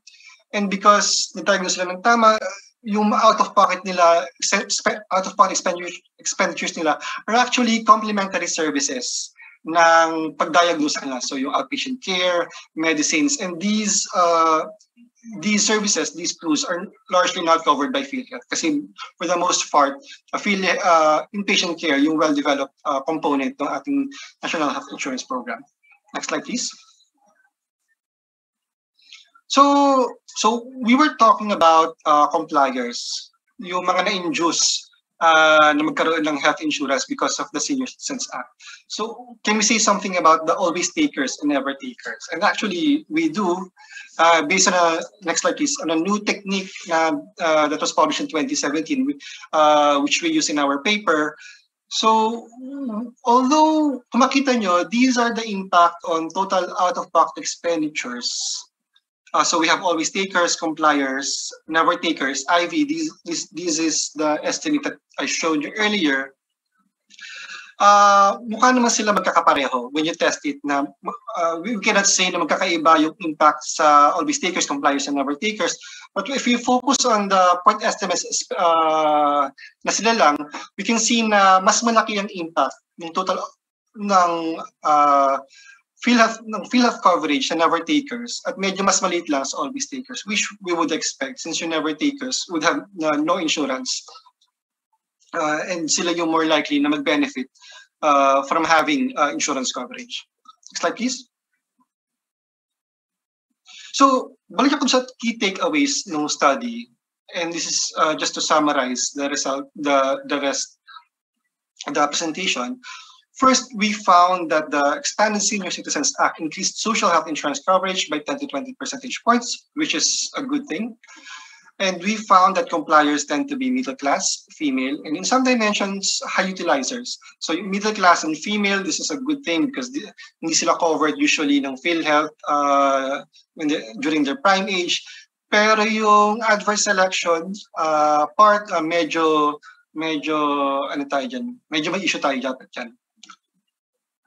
Uh, and finally, uh, last two slides, yung uh, last two bullets, contrary to expectations, yung out-of-pocket medical expenditures increased by over 100%, driven by non-covered expenditure categories. And uh, I've shown earlier that is this uh, this is uh, consistent with outward shift in medical care demand. Mas lumaki yung demand ng mga tao uh, for health insurance, for for health services because of health coverage. And last slide, please. Uh, implications for policy.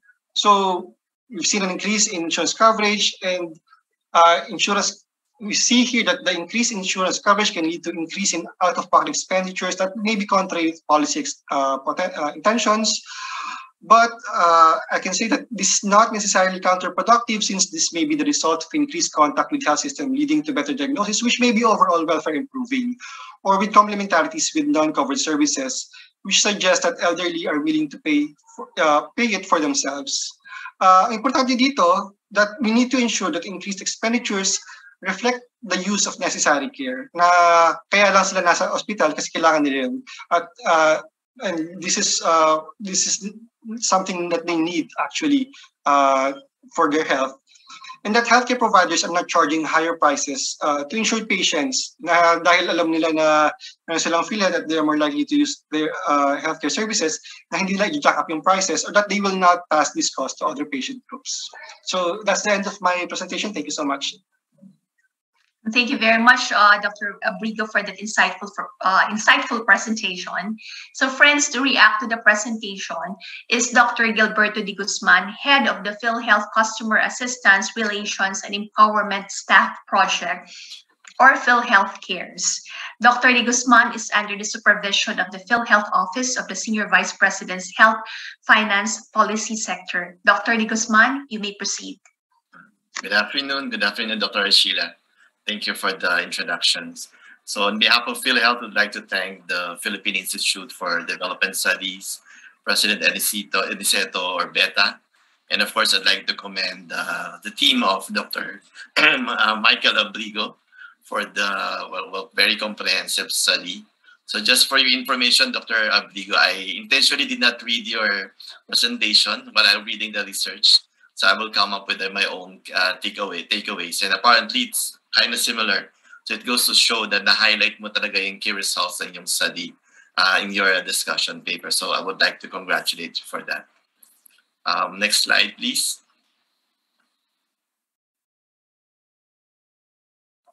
So to start with the key points, uh, uh, number one key points, of course, as echo, as reiterated by Dr. Abrigo, is the substantial jump in the insurance coverage at age 60 after the implementation of the expanded senior citizen act. So according to the APIS, it's 26% in 2014, and it jumped to 46% in 2016. While in uh, the demographic health survey, it, saw, it, it showed that the 61% is the coverage in 2013 and it's 83% in uh, 2017 and majority of which is from the coming from the middle class and that struck me because apparently because of the for the low socioeconomic status they may be also member already of the sponsored group or the NHTS while for those who are in the higher socioeconomic status they may be already part of the uh, the other groups, particularly from the employed sector or the self-employed. So next slide. So just to corroborate the result of the study, so the PhilHealth stats and charts are available in our website. So in 2013, that's that's before the implementation of the program, we could see uh, the second column sh uh, shows the number of enrolled Filipinos over the total number population, the percentage. So it's at 79%, and we have the lifetime members at 1.32 million. But in 2014, when we implemented, the, when the law was implemented, uh, the lifetime members is at steady at 1.6 million, but the senior citizen is at 4.3 million already. So we now have the data of the senior citizen. I think in the chat, there was a question, uh, saan po ba na, sino ba yung nagpa-fund ng uh, senior citizen na premium? technically it comes from the the funding will be coming from the sin tax uh, as, as uh, stipulated in the law at the same time we are actually billing the DBM for the annual premium through the, the Department of Health so binibill po namin sa DBM so in the succeeding years you can see already the increase in the cover in the number of enrolled uh, primary members as well as dependents so at 7.12 million in 2015 to as high as 8.47 million in uh, 2017. And accordingly, sa aming enrolled population, percentage of enrolled population, in 2017, nasa 93% na ang aming coverage. So next slide. So for the next two takeaway, I think that answers the question, so what? So I think we now we know based on the study that nag-increase naman talaga yung coverage because it's already, it's already free. So the, the government is already paying for it. So one key point is uh, whether those who are more likely to select into the insurance or what uh, the researcher called the compliers had higher hospitalization prior to being eligible for uh, PhilHealth or what, what we call the adverse selection. I think it's kind of tricky know, to make an assumption this one because there will be a lot of factors. But I do agree with what uh, Dr. Abrigo said earlier that it could be that because we create a demand. So when you advocate for something, you create a demand there's a supply. And of course, people will actually access the services. And we all know that the senior citizen, most of them are really the one, uh, they have a lot of comorbidities and they're actually getting the health services more often than the younger generation. So next slide, please. So just to show to you our top medical cases in uh, in 2021 na po na. So medyo nag-advance na tayo.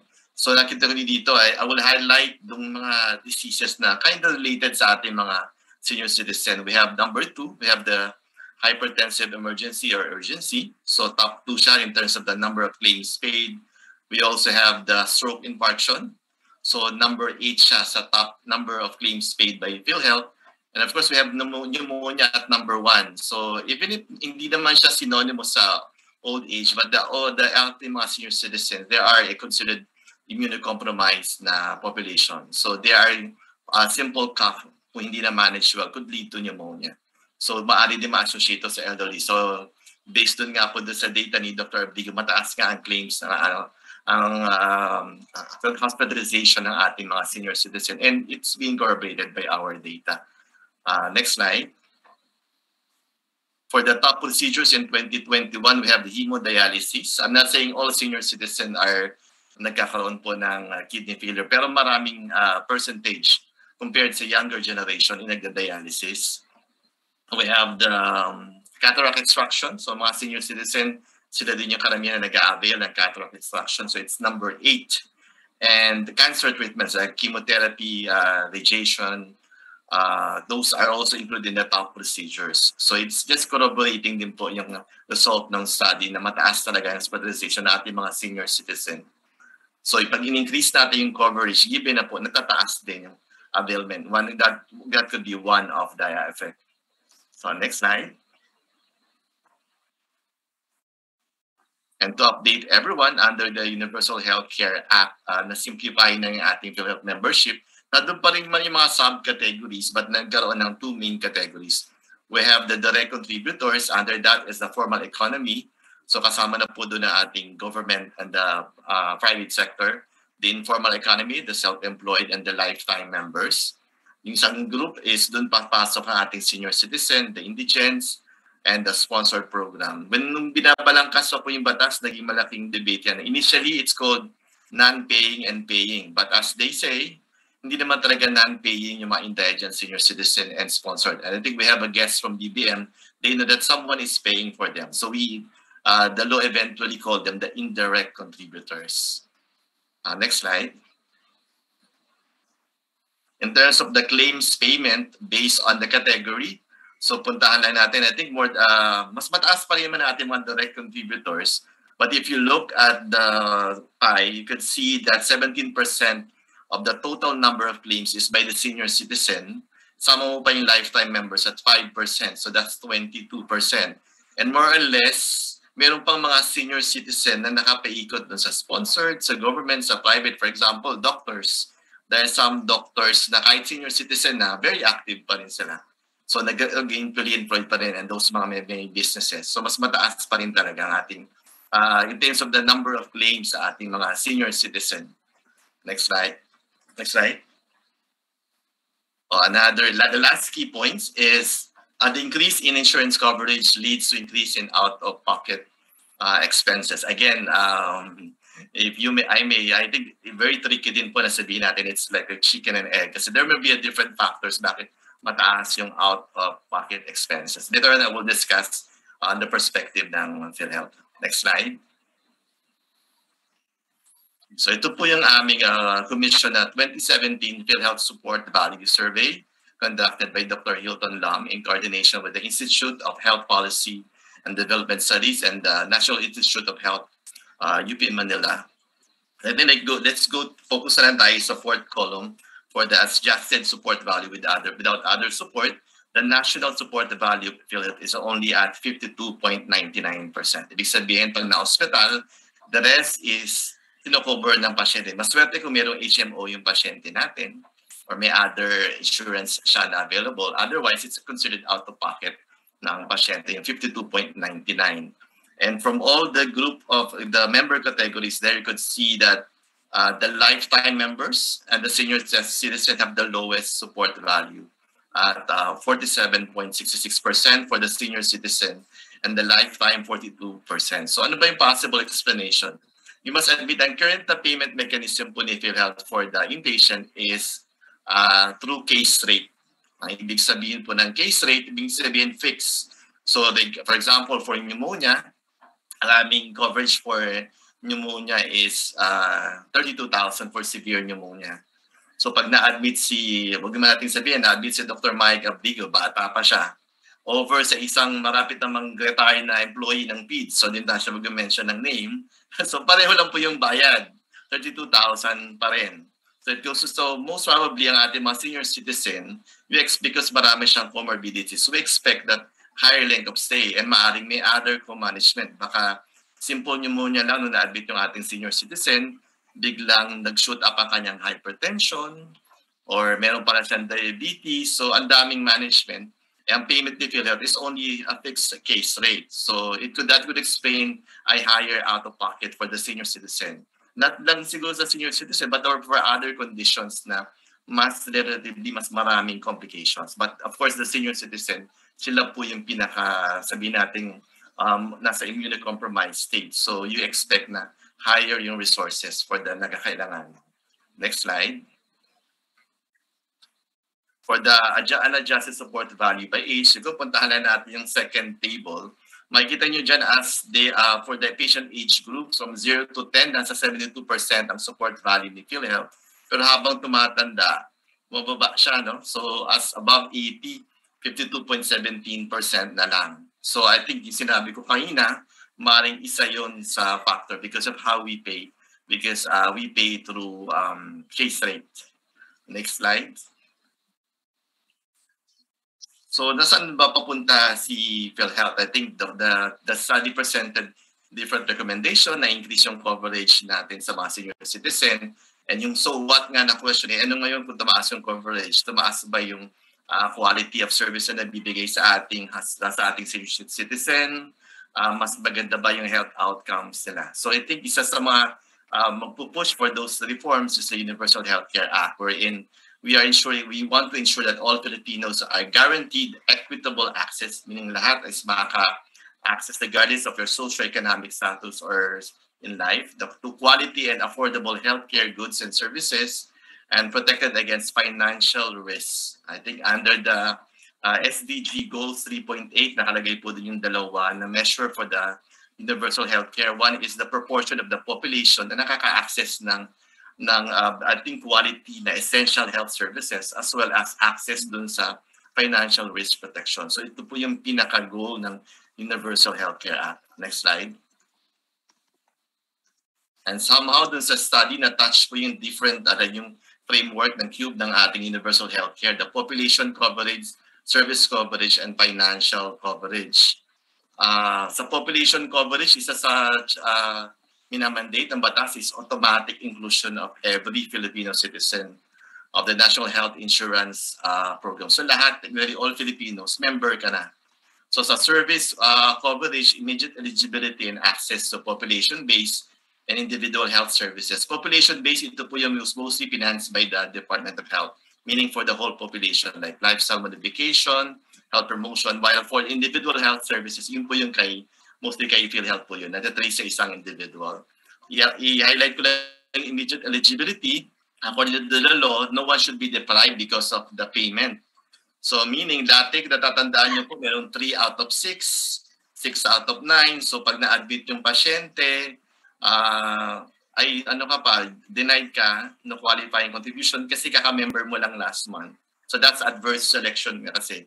So magpapabayad ka lang because magbabayad ka lang kasi magpa-opera ka next month. Or mga anak kasi ako in two months. o nabuntis ako, ay papa, ano ako, papa, papa-member na po ako. So those things. So with the new law, that will be immediate eligibility. I think that will be a good study for kids, no? Ano kaya yung impact ng immediate eligibility sa payment ni PhilHealth?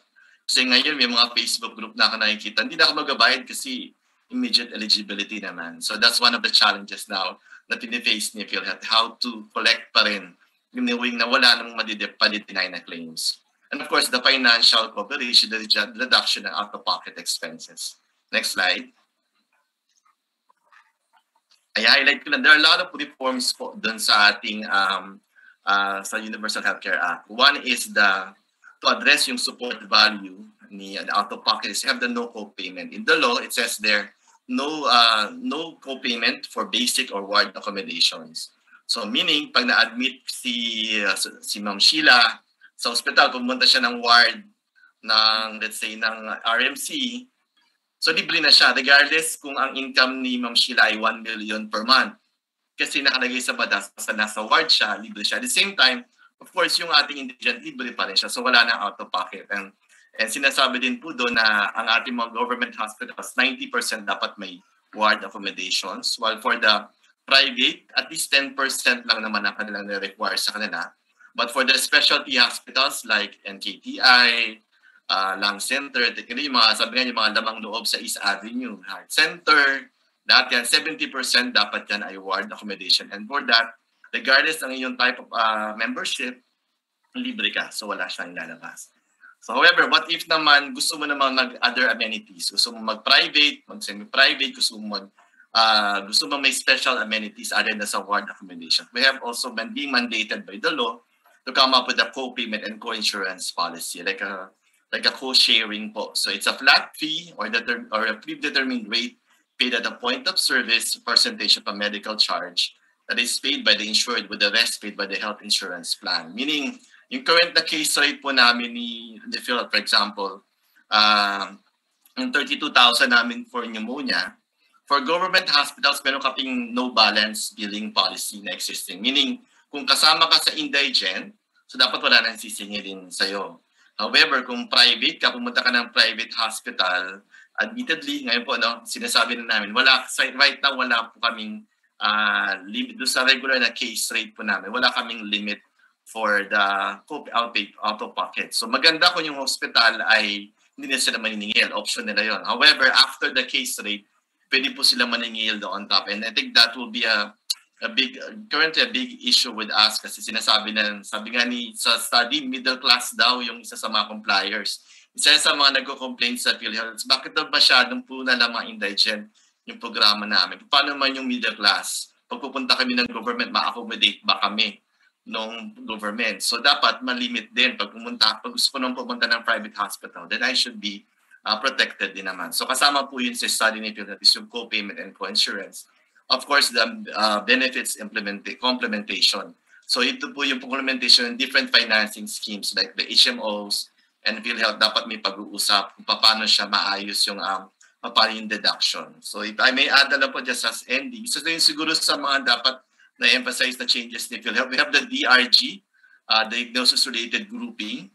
It's also a case-based po na payment. Ito na po yung shifting ni PhilHealth as mandated by the law Meaning, hindi na kami, although case-based siya, mayroon na pong uh, consideration ng unique complexity sa isang pasyente. For example, if you have comorbidities, may additional po na dagdag sa payag ni PhilHealth. As well as kung ang cases, for example, yun, sinabi ko nga, yung example ko si Dr. Arbrigo ay na-admit for pneumonia, most probably mas mababa yung bibigyan namin na case rate as compared do sa may isang senior citizen na na na-admit kasi most probably mas mataas yung length of stay niya. As well as for stroke naman, as na-admit ka for acute tonsilopharyngitis, kung meron based dun sa costing namin, nakita naman natin, of course, ang ATP, hindi mo, hindi mo siya pwede i-compare sa stroke patient.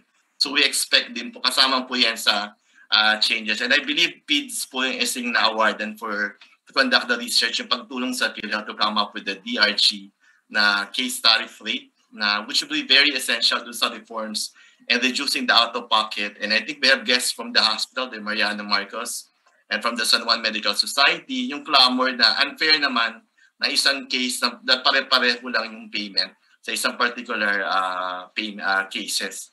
So yun po yung sinasabi na the clamor for a more responsive and appropriate benefit kasi for PhilHealth, paano kami magde-demand na huwag kayo maningil ng sobra kung yung payment naman namin hindi naman uh, uh, commensurate. And last po siguro is yung emphasis for the primary health care. Yung as gatekeeping, isang po yan sa inaan-emphasize ng uh, universal healthcare. Sabi ni Dr. Abrigo na na baka mamaya pa-admit na naman pa-admit kasi libre. So I think with the law, sinasabi din na mas strengthen yung primary care na bago pumunta, dapat may mag-aalaga na primary health care physician or provider sa'yo para din ma-minimize din yung uh, adverse selection na lahat na lang pa-admit ang pa-admit. In fact, can be managed naman as an outpatient. With that, uh, thank you very much. Thank you very much, uh, Dr. De Guzman, for corroborating the findings of uh, Dr. Abrigo and also for um, explaining to us uh, how PhilHealth uh, provides its uh, services. Okay, so friends, we have heard the presentations of our resource persons and the insights of our discussants, and this time we would like to hear from you. So we have come to the next part of our webinar, which is the open forum. But before that, uh, I'd like to inform you that we won't have a call uh, this afternoon, but we will have a raffle wherein we will randomly uh, uh select two names from Zoom and two names from Facebook okay? And each of them will receive a prize and I will announce the winners of our raffle before we close the webinar. So at this point, I invite all our speakers, uh, Dr. Briones, Dr. Abrigo, Engineer uh, Sulaik and uh, Dr. Uh, De Guzman to the open forum. Okay, so let me check our uh, our Q&A box. I uh, I noticed that um, there are already um, a number or several questions that have been answered by our friends from from uh, NIA. However, let me um, ask, uh, let me pick some of the questions that have already been answered so we can also um, get the inputs of our other discussants or for other uh, speakers. And let me start with the uh, question of, um, okay, there's a uh, good question here regarding our, um, the devolution, okay? The dev um, the devolution of functions to the LGUs, and this pertains to the communal irrigation systems. Okay, Levina Grana uh, said uh, communal irrigation system is part of the devolved functions of the LGU based on the devolution transition plan. What would what would be your takeaways to both NIA and LGU for irrigation services to be enhanced and sustained? And I think uh, Dr. Bruce Tolentino has also a question uh, related to uh, the communal irrigation system. Um, there there's already an answer answer from NIA, and may I just read this with the upcoming devolution function, devolution of functions to LGUs, NIA crafted a devolution transition plan, which was already submitted to the DM. Based on ESDTP, the agency will provide capacity building activities to LGUs starting 2022 to strengthen capacity them for the management of the communal irrigation systems. But may I also ask um, Dr. Briones, if uh, you'd like to answer this question based on uh, the findings of your study. Uh, yes, uh, I would, uh, Sheila. So, well, although of course uh, the book was written before the Mandanas ruling was was issued, we did observe that there's a lack of resources and lack of prioritization of local government units for the small irrigation systems that were placed under their mandate. So it's still mostly dependent on investments coming from the national agency, the NIA. Now, there's some hope na baka magbago under, you know, the the, the windfall no, of IRA, the IRA expansion. But I'm not actually very optimistic about this because if you look at the IRA formula, um, there's quarter for equal share and 50% for population and only around I think 25 or so percent uh, for for um, uh, uh, uh, land area. And we know that these rice growing areas, they're kind of land intensive.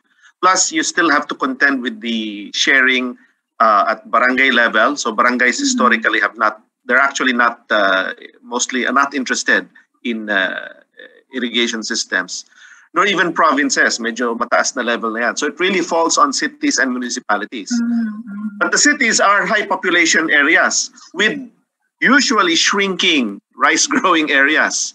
So given all of these considerations, I think the ERA formula is kind of too blunt. No? Na mm-hmm. asahan natin na despite the windfall or the expansion of ERA, that it will cause a really serious dent on on uh, on the changes. It's good to be hopeful, no, and perhaps I might be proven wrong uh, once we're mm-hmm. actually operating under the new regime, uh, new level of IRA. But frankly, I'm not optimistic. So I think there's still a big scope for national agencies to at least support the irrigation development and do some kind of transition uh, with the local government units. Thank you very much, uh, Roel, for your uh, candid remarks. Okay. This, yes, sir. Yes, uh, go ahead. Uh, in addition to uh, Dr. Briones, uh, uh, we have already a, a sort of consultation to the local government unit uh, on our feed offices, and there are already some feedback uh, coming from the from the regional offices of NIA that uh, there are some uh, local government unit are not uh, hesitant to accept the the transfer of the communal irrigation project to their side because of that uh, situation that uh, the capability of the LGU based on the resources is not yet uh, ready. Well, in fact, uh, the other day, we have our uh, consultation, kumustahan with the chairman of the committee of the devolution transition plan and I already made this information to them and uh, this will be going to to come up when we have a, a forum that we will going to schedule this coming uh, August uh, 23. Uh, that's why uh, we are always uh, giving a feedback to the uh, chairman of this commission, uh, devolution committee transition plan.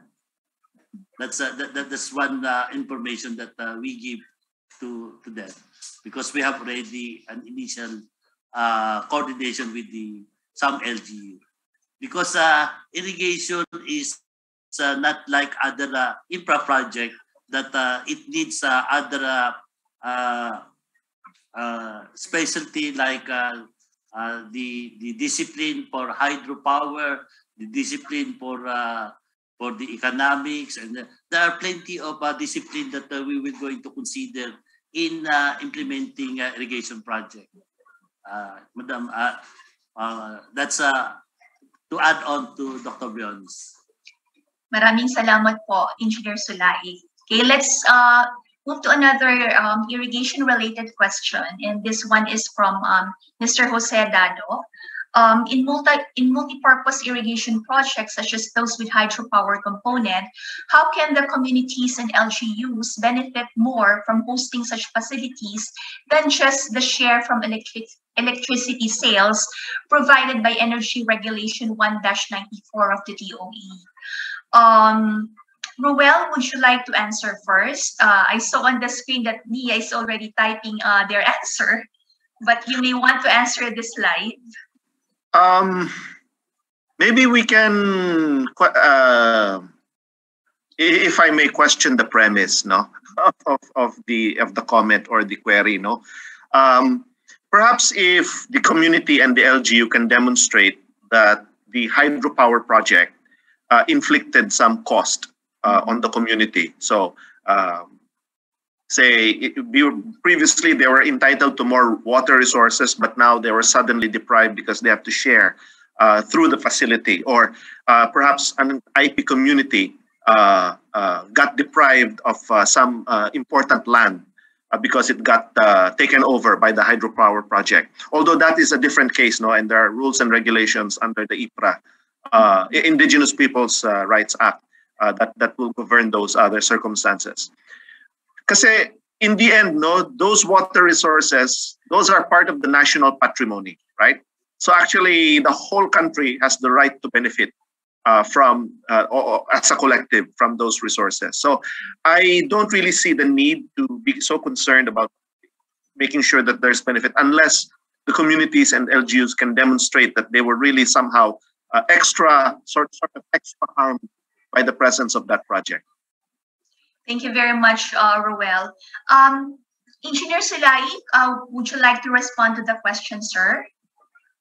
Yes, uh, uh, as per the IPIRA law, uh, the, the host uh, LGU is in or, uh, we're only entitled uh, on the what you have uh, mentioned a while ago, the E- EN uh, that's 194. That's the only the uh, legal basis that uh, the, the LGU will have a share if there is an hydropower component of of uh, of those uh, irrigation project in their area. Thank you very much, Engineer Sulai. Okay, I have um, um, a question for, for both of you, and this pertains to the um, an issue raised by Dr. Uh, Briones and his uh, co-authors regarding uh, coordination failure as one of the significant issues uh, hounding the sector. And I recall that years ago, the idea of um, creating a Department of Water uh, surfaced, and, and there was even a I think, a consolidated bill that was approved in the House of Representatives. And the idea is that this department will oversee and coordinate all water-related programs and projects in the country. Um, however, talks about this proposal has, has died down. Do you think it is high time uh, that we revive this proposal, possibly in the 19th Congress? Uh, Roel, uh, Dr. Briones. Hmm. Okay, so we um, we did advocate for better integration uh, of water governance, but it's not clear to me that another department concerning water will be part of the solution. So, because again, uh, the, the department will be another co-equal uh, with with the other departments, the DNR, the DA, and so on. No, so I, I, I, can I can see the rationale behind that because if you just go the way of uh, coordination councils, that also has a storied history in, in Philippine government. No, and that doesn't really also seem to work. Uh, kaya nga there was uh, hope that placing it under the CABSEC uh, would try to address some of these cross-cutting, cross-sectoral, cross-agency issues. Unfortunately, now one of the first acts is the abolition of the office of the CABSEC. Uh, if if there could be some kind of uh, interagency coordination body that could be uh, imagined that will be able to take over some of the functions that were being done by the now abolished CABSEC, then I think that might be, uh, for now, no, uh, what I can see might be better than creating another branch of uh, the bureaucracy under a separate department. Thank you, uh, Dr. Briones. Uh, Engineer Sulaik, any thoughts? Uh, yes, uh, Madam Chair. Uh, but in fact, uh, there is already a a public consultation in creating the Department of Water, uh, sponsored by Congressman Salceda. We attended that uh, consultation meeting, and uh, based on the uh, discussion with the with some other sectors of uh, uh, water user, like of MWSS and the LWUA, uh, during that that consultation, we are just an attached agency. If that happened, that there will be a Department of Water. So we'll just uh, wait for whatever the outcome of this creation of one department that uh, will will will uh, uh, consolidate all the water users of the agency. Thank you very much, Doc, Engineer Sulaik. Now let's move to some questions related to the second presentation, and this one is from an anonymous attendee uh, and, and Dr. Abrigo, um, may, you may want to answer this. Could you please expound more on your recommendation to ensure reasonable charge of physicians to newly insured patients? And what was your evidence that this really happens? And what policy would you recommend addressing this? Okay. So we're not saying that uh, physicians are charging more uh, dun sa may mga insurance. Although there are documented cases here in the Philippines, there was a study in the 1990s by Dr. Solon. Uh, and we have a study in 2019 showing some differentiation in how uh, healthcare facilities uh, treat uh, patients when they have insurance coverage or not. And this is uh, in line with studies in other countries showing na yung mga tao na may insurance usually uh, the facilities they charge more because they know they can they can get uh, they can get away with it. Although I'm not saying that that happens in the Philippines.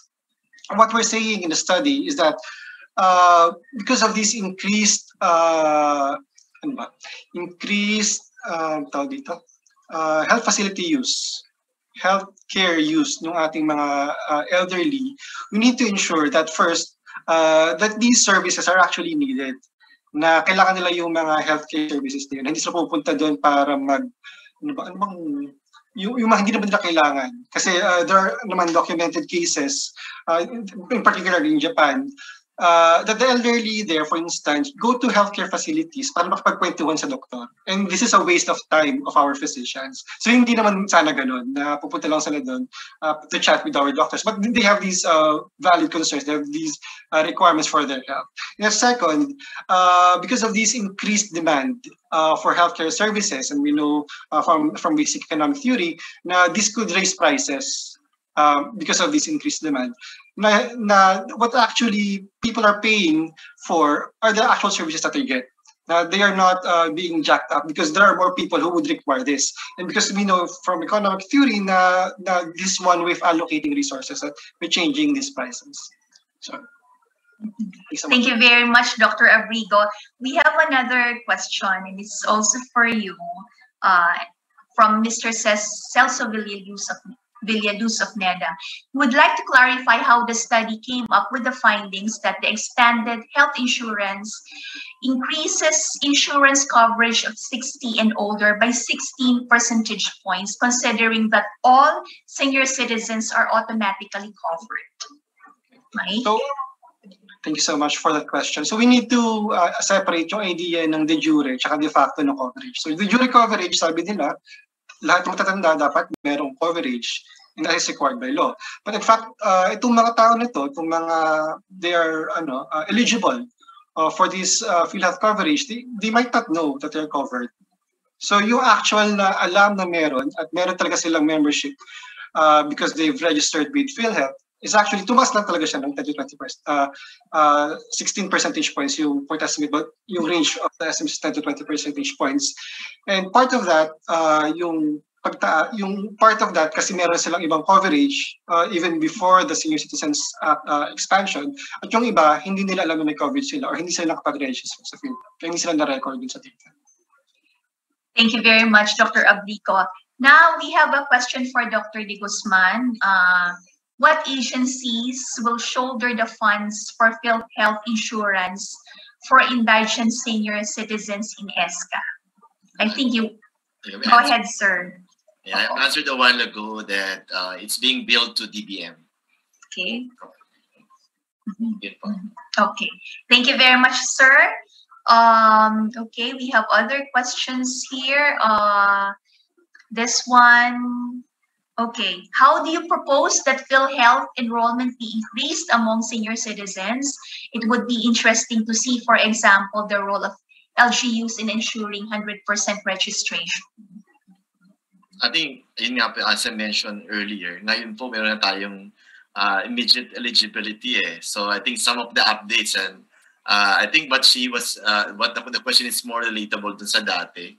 So mm-hmm. the before kasi require, uh, I think the LGUs are also encouraged pa na enroll yung kanilang mga senior citizen. However, kung sakaling ma-admit naman yung pasyente, they will just have to fill up a form.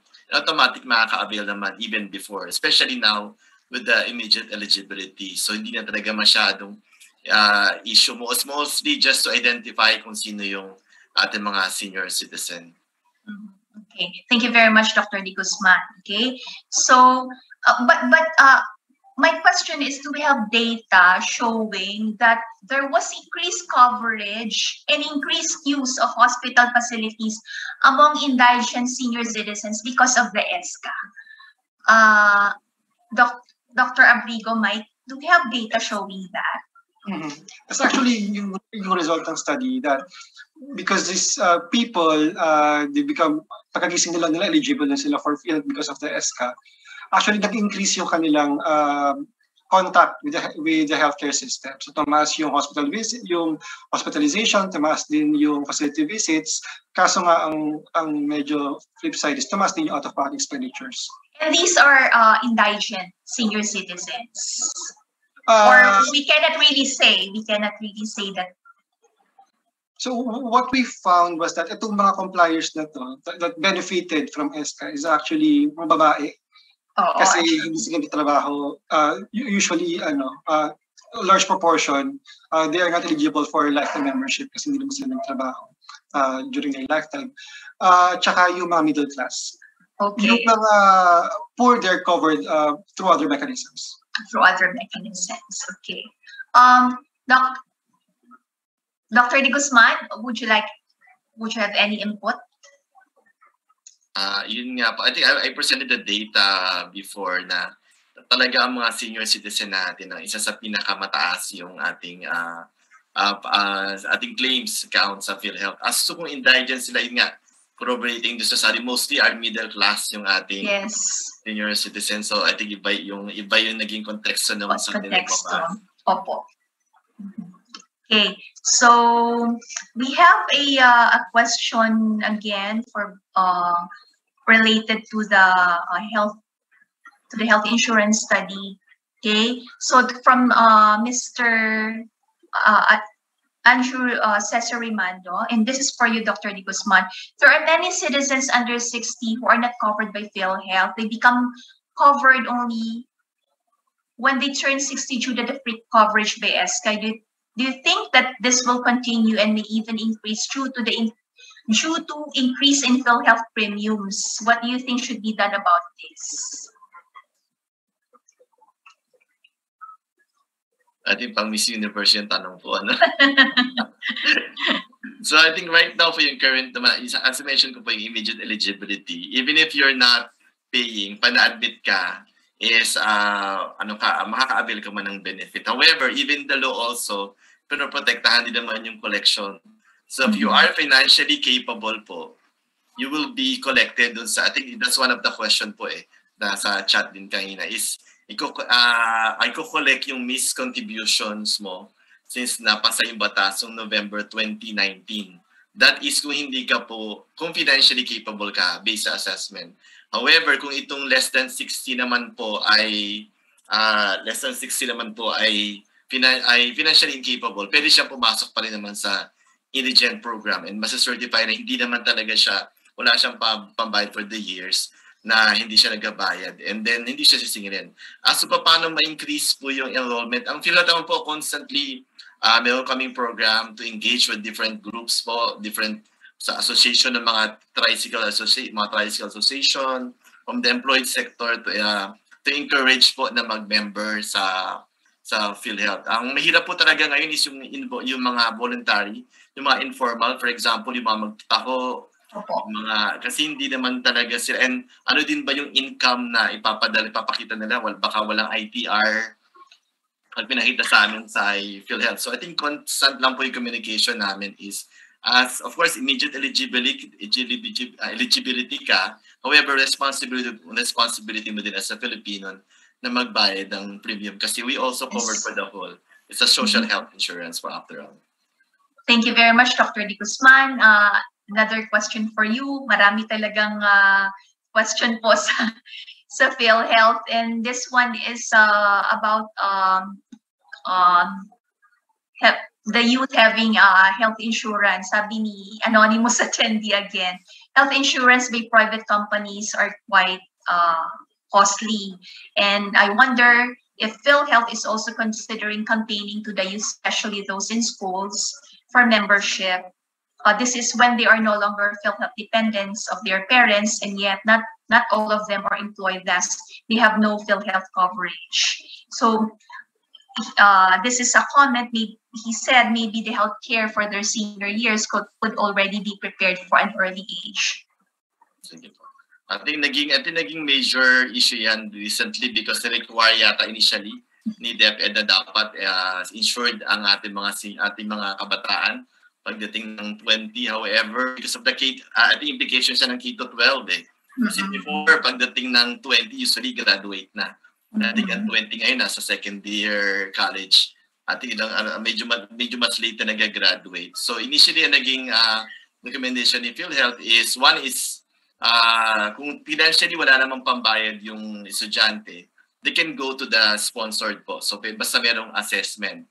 And second po is uh, nag naglobby na rin po kami sa Senate. I think last May, nagkaroon kami orientation with the Senate staff. Um, sa mga recommendation namin is, of course, dahil sa K-12, may implication nga po eh, kasi nagdadagan mo ng 2 years.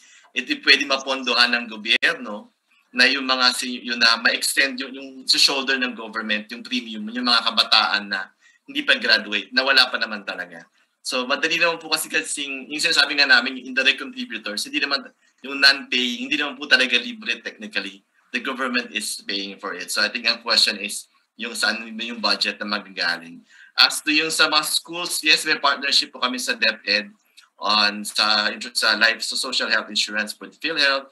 UAC, actually incorporate na rin po siya sa mga curriculum. I think that's a good suggestion po yung financial literacy. It could be a good recommendation na ma-include din po sa sa curriculum ng DepEd po. Yes, sir, I agree with you. And another question again for you. You think um, this one is also from uh, Andrew Cesar Rimando. Do you think PhilHealth should also include uh, in their healthcare programs prevention of diseases and not only cure, cure of diseases? Ad- uh, yes po. Admittedly po, most lang aming mga cases in the past years ay mostly more on cur- uh, curative. So mostly inpatient. So with the new law din po, kasama doon sa minamandate sa PhilHealth, is really mas comprehensive. Sabi nga, from womb to tomb. So dapat nasa baby Yes. pa lang habang ano pa bago magkasakit kasama po yun. And isa doon sa minamandate sa amin is to come up with a benefit, comprehensive outpatient benefit package as well as uh, also that every Filipino must be registered to a primary care provider of choice. So isa po yun na relatively sa PhilHealth based sa Philippines walang masyadong gatekeeping. So nangyayari, kung may pera ka, pupunta na ako sa specialist. Even if, even if kaya naman ako i-manage dun sa baba. Ba- ba- Probably because wala din naman kaming coverage talaga. And also isa din po dun sa change reforms ng batas is yung healthcare provider network. Ang ito po yung parang uh, it's a group of uh, providers from na composed sa primary level hanggang tertiary level. So meaning ang mag-aalaga doon sa isang pasyente o isang pamilya is from from uh, bottom to top. So ibig sabihin hindi siya pwedeng basta-basta pupunta doon sa taas kung hindi nakikita. So meron talagang gatekeeping para ma-manage din po yung resources. And very important po yung prevent. I agree po yung preventive promotive mas malaki yung magaga, matitipid mo kung mapiprevent mo na magkaroon sila ng comorbidities in the end. Yung current po na package namin for, we have the PhilHealth Consulta package. Okay. It's a transitory po na primary care package namin. We pay by capitation, meaning kung ilan yung nag-register na tao sa isang provider, then they get paid for it for a year. And then kasama po doon yung different na diagnostics as well as uh, maintenance meds kung nagkataon na meron na yung sakit yung pasyente. Thank you very much, Dr. Guzman. And we have a question for both you and uh, um, uh, Dr. Abrigo from Julius Dumangas. Have increased PhilHealth coverage and increased OO, uh, out-of-pocket expenses contributed to bet- better health outcomes for, uh, for senior citizens. I think uh, Dr. Abrigo has a ca- caveat on this. Dr. Abrigo. Ah, hirap na ng tanong. Hirap ng tanong, ano, kasi hindi. and this is actually part of the story that, that I've been trying to build on social health insurance. Uh, this is not part of the presentation na, na Mm-hmm. pinakita kanina. But uh, we've actually started working on this. Kasi we started with the ano, impact sa, sa access to healthcare, sa expenditures. Then ano bang impact nun? Uh, bottom line, better health ba yung mga senior citizens natin? And yung preliminary estimates namin actually was that uh, ano siya, eh, may malaki siya conundrum sa amin kasi negative yung effect. They are actually more likely to, based on the data that we've been analyzing, more likely, uh, mas mataas yung, ang tawag dito, mortality rate actually. But I need to clarify, bakit kaya mat- tumaas yung mortality rate? And, and one of the things that we're thinking about uh, is that maybe it's because uh, these people are actually uh, part of the system na because of PhilHealth. Dati, um, uh, if you would, uh, PSA could, could colla- co- corroborate this, um, yung ating kasing uh, vital statistics, uh, underreported siya. And this is happening around the world. Na hindi lahat na namamatay, pinapanganak na record. And there has been a report na yung underreporting is as much as 50% in, in some locations in the, in the country. So, ang naisip namin, posible kaya na dahil senior citizen, may PhilHealth, pumunta sa hospital, na-record yung kamatayan niya. Posible kaya ang ganun. But uh, dinidevelop pa namin yung study and hopefully uh, matapos namin yung study. And I would like to hear PhilHealth's, uh, Dr. De Guzman's uh, uh, points on this. I think that's good to hear po na meron kayong plans to do that. Admittedly sa PhilHealth, uh, data isang po yan sa data management. Isa sa mga gusto namin pagtuulan po. I think with I, I recall dun sa isa sa mga infamous na Senate hearing namin, uh, sinasabi na for pneumonia, sa data ni PhilHealth, ang taas-taas ng pneumonia. Pneumonia yung top claims namin. Pero pag tinignan kay DOH, iba yung data nila. So it's either may isa nagsisinunod. may there, sabi nga, there are three sides. Either tama yung si PhilHealth, si DOH, or merong katotohanan na nakatagos because of the data na, yung data na available. So I think with PhilHealth, isa sa titingnan namin is kasama rin sa batas nakalagay na si PhilHealth magiging pasyon ng National Depository ng health data para isahan na lang sa para magagather din namin which is which will help us to come up with better policies and evidences pag gusto namin mag-increase ng benefit or mag-expand ng uh, coverage. And isa din sa gustong tutukan ni PhilHealth is currently yung mga kontrata namin sa ospital, parang para kaming police, para sinasabi namin na hinuhuli namin kung may fraud. so I think one is that pinupush din sa amin, tingnan din naman namin yung health outcome. Perhaps we can give incentives din sa mga providers sa maganda yung health outcomes. But after the question, I'm, I cannot give you the data whether now kung ilan yung nag-improve na okay. na senior citizen. But eventually, isa yan sa mga dream ni uh, vision ni PhilHealth mm-hmm. na makita namin, for example, yung healthcare provider network, so na makita yung link ng primary care din sa taas. Mm-hmm. Kung bakit sabi mo, inaalagaan mo yung mga pasyente mo sa RHU mo or sa clinic, pero lahat ng pasyente na to na-admit for hypertension. So you have to check kung at nag-improve ba talaga yung health outcomes ng ating mga members. Thank you very much, Dr. De Guzman. And now uh, let's go back to our irrigation study and may, may I throw this question to uh, Engineer Sulaik. And um, uh, this is from uh, Mr. Jose uh, Mr. Jose uh, Dado Okay, what is, he would like to uh, get clarification regarding the devolution transition plan for local irrigation systems. He asked, what is the devolution transition plan for local irrigation systems, particularly for LGUs without adequate resources to implement the CIS? And can lower income LGUs still propose local irrigation projects to NIA?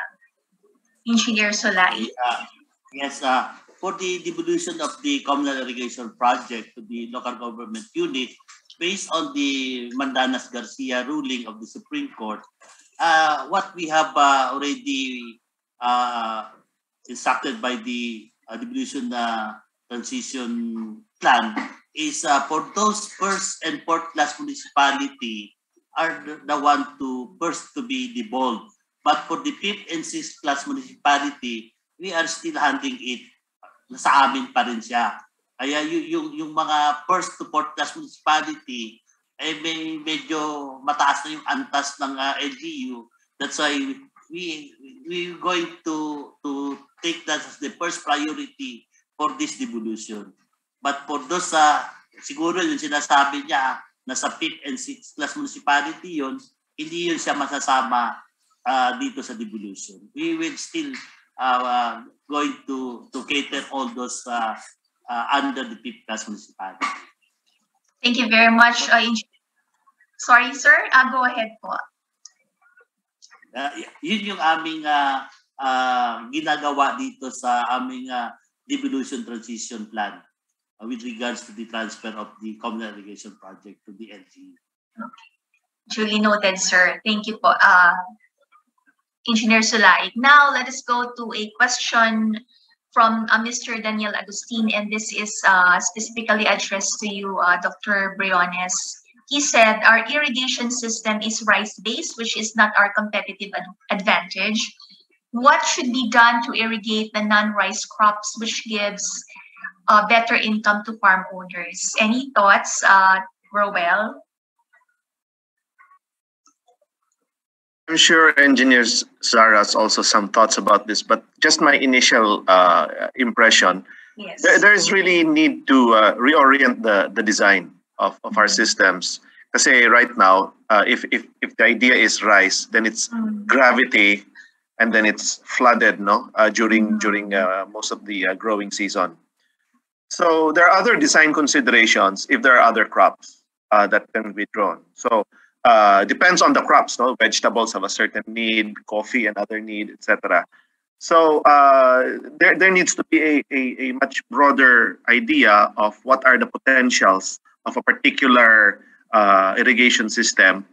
Especially uh, the farmers probably will need to discuss it together because it's kind of like a common common facility among them. No, uh, maybe turnout one turnout can can can um, make their own decision, pero uh, even the, those within that turnout have to make an agreement no, on what is the appropriate uh, delivery system and even drainage system for the water. But uh, I would like to invite uh, engineer uh, to also give Yes. this. Mhm. Thank you, Roel. Um, engineer, please.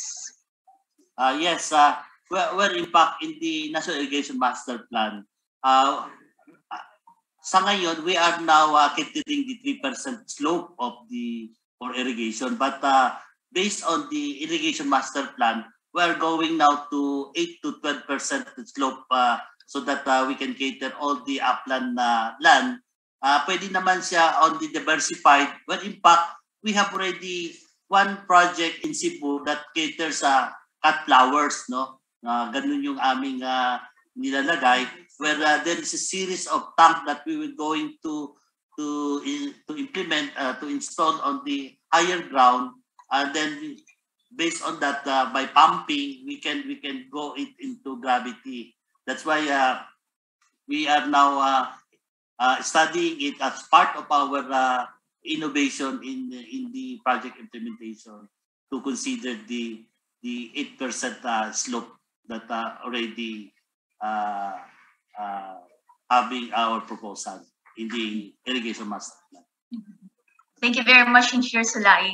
Uh, friends, we have uh, covered uh, the, the questions uh, in our uh, Q&A uh, box, Q&A section.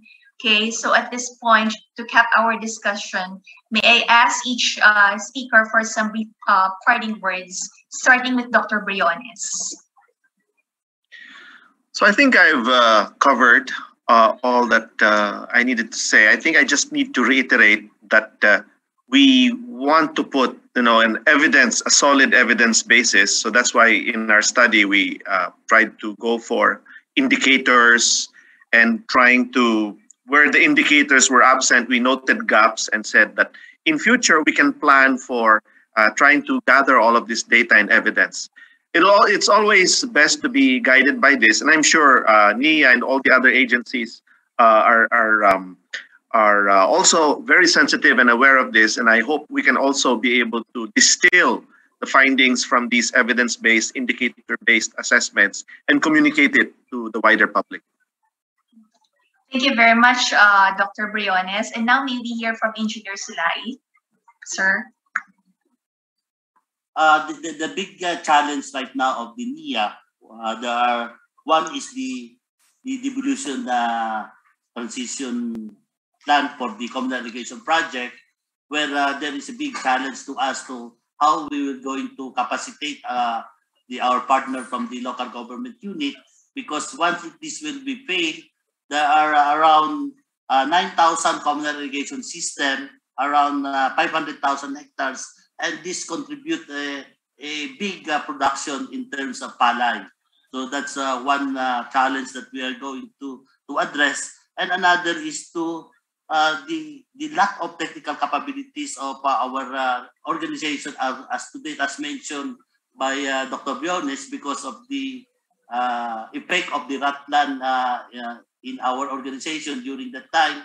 That's why we have now the ongoing reorganization process and or right sizing that we will going to adopt in our in our organization. And um, one another thing is uh, we have to to face also the the climate change that uh, we are now encountering in our uh, project implementation as uh, mentioned by Dr. Briones. This is uh, a big challenge to us. That's uh, the the hard work that we will going to to going to to implement uh, in the future. Thank you, sir. Thank you, uh, Engineer Sulaik. Now may we hear from Dr. Uh, Michael Abrigo. Thank you so much, Sheila. Well, I just want to emphasize, uh, based on the study, that uh, we have a lot of good programs uh, in government, and but many of these programs have uh, intend, uh, intended and unintended consequences, and it's important to identify these so that uh, moving forward, we'd be able to do uh, countermeasures uh, for these unintended consequences. A good thing that uh, in this case, uh, maganda naman yung, yung unintended consequence na even if tumaas yung out-of-pocket expenditures, mga senior citizens as covered by uh, PhilHealth, this is because they have uh, greater contact with the health system. Thank you very much, uh, Dr. Abrigo. And of course, uh, maybe hear from uh, Dr. De Guzman. Again, thank you very much to PIDS for the, this initiative. We really welcome to get an external perspective on our programs. Para hindi naman self-serving yung aming mga study. So just probably as a parting uh, statement will be on the Universal Healthcare Act. I think when it was uh, crafted, uh, it, we are promising like the moon and the stars to our people. But in reality, universal healthcare is not free.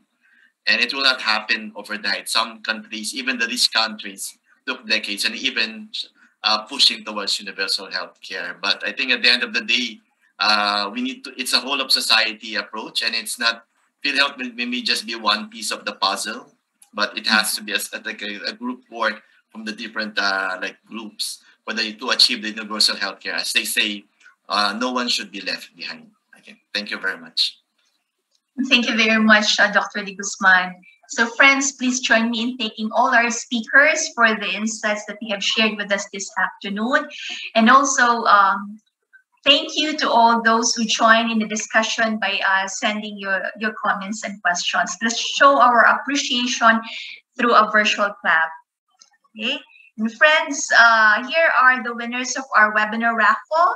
Jocelyn Motita, Ralph Deo Ponce, and Anthony James Albis. So our webinar team will get in touch with you for the delivery of your prize.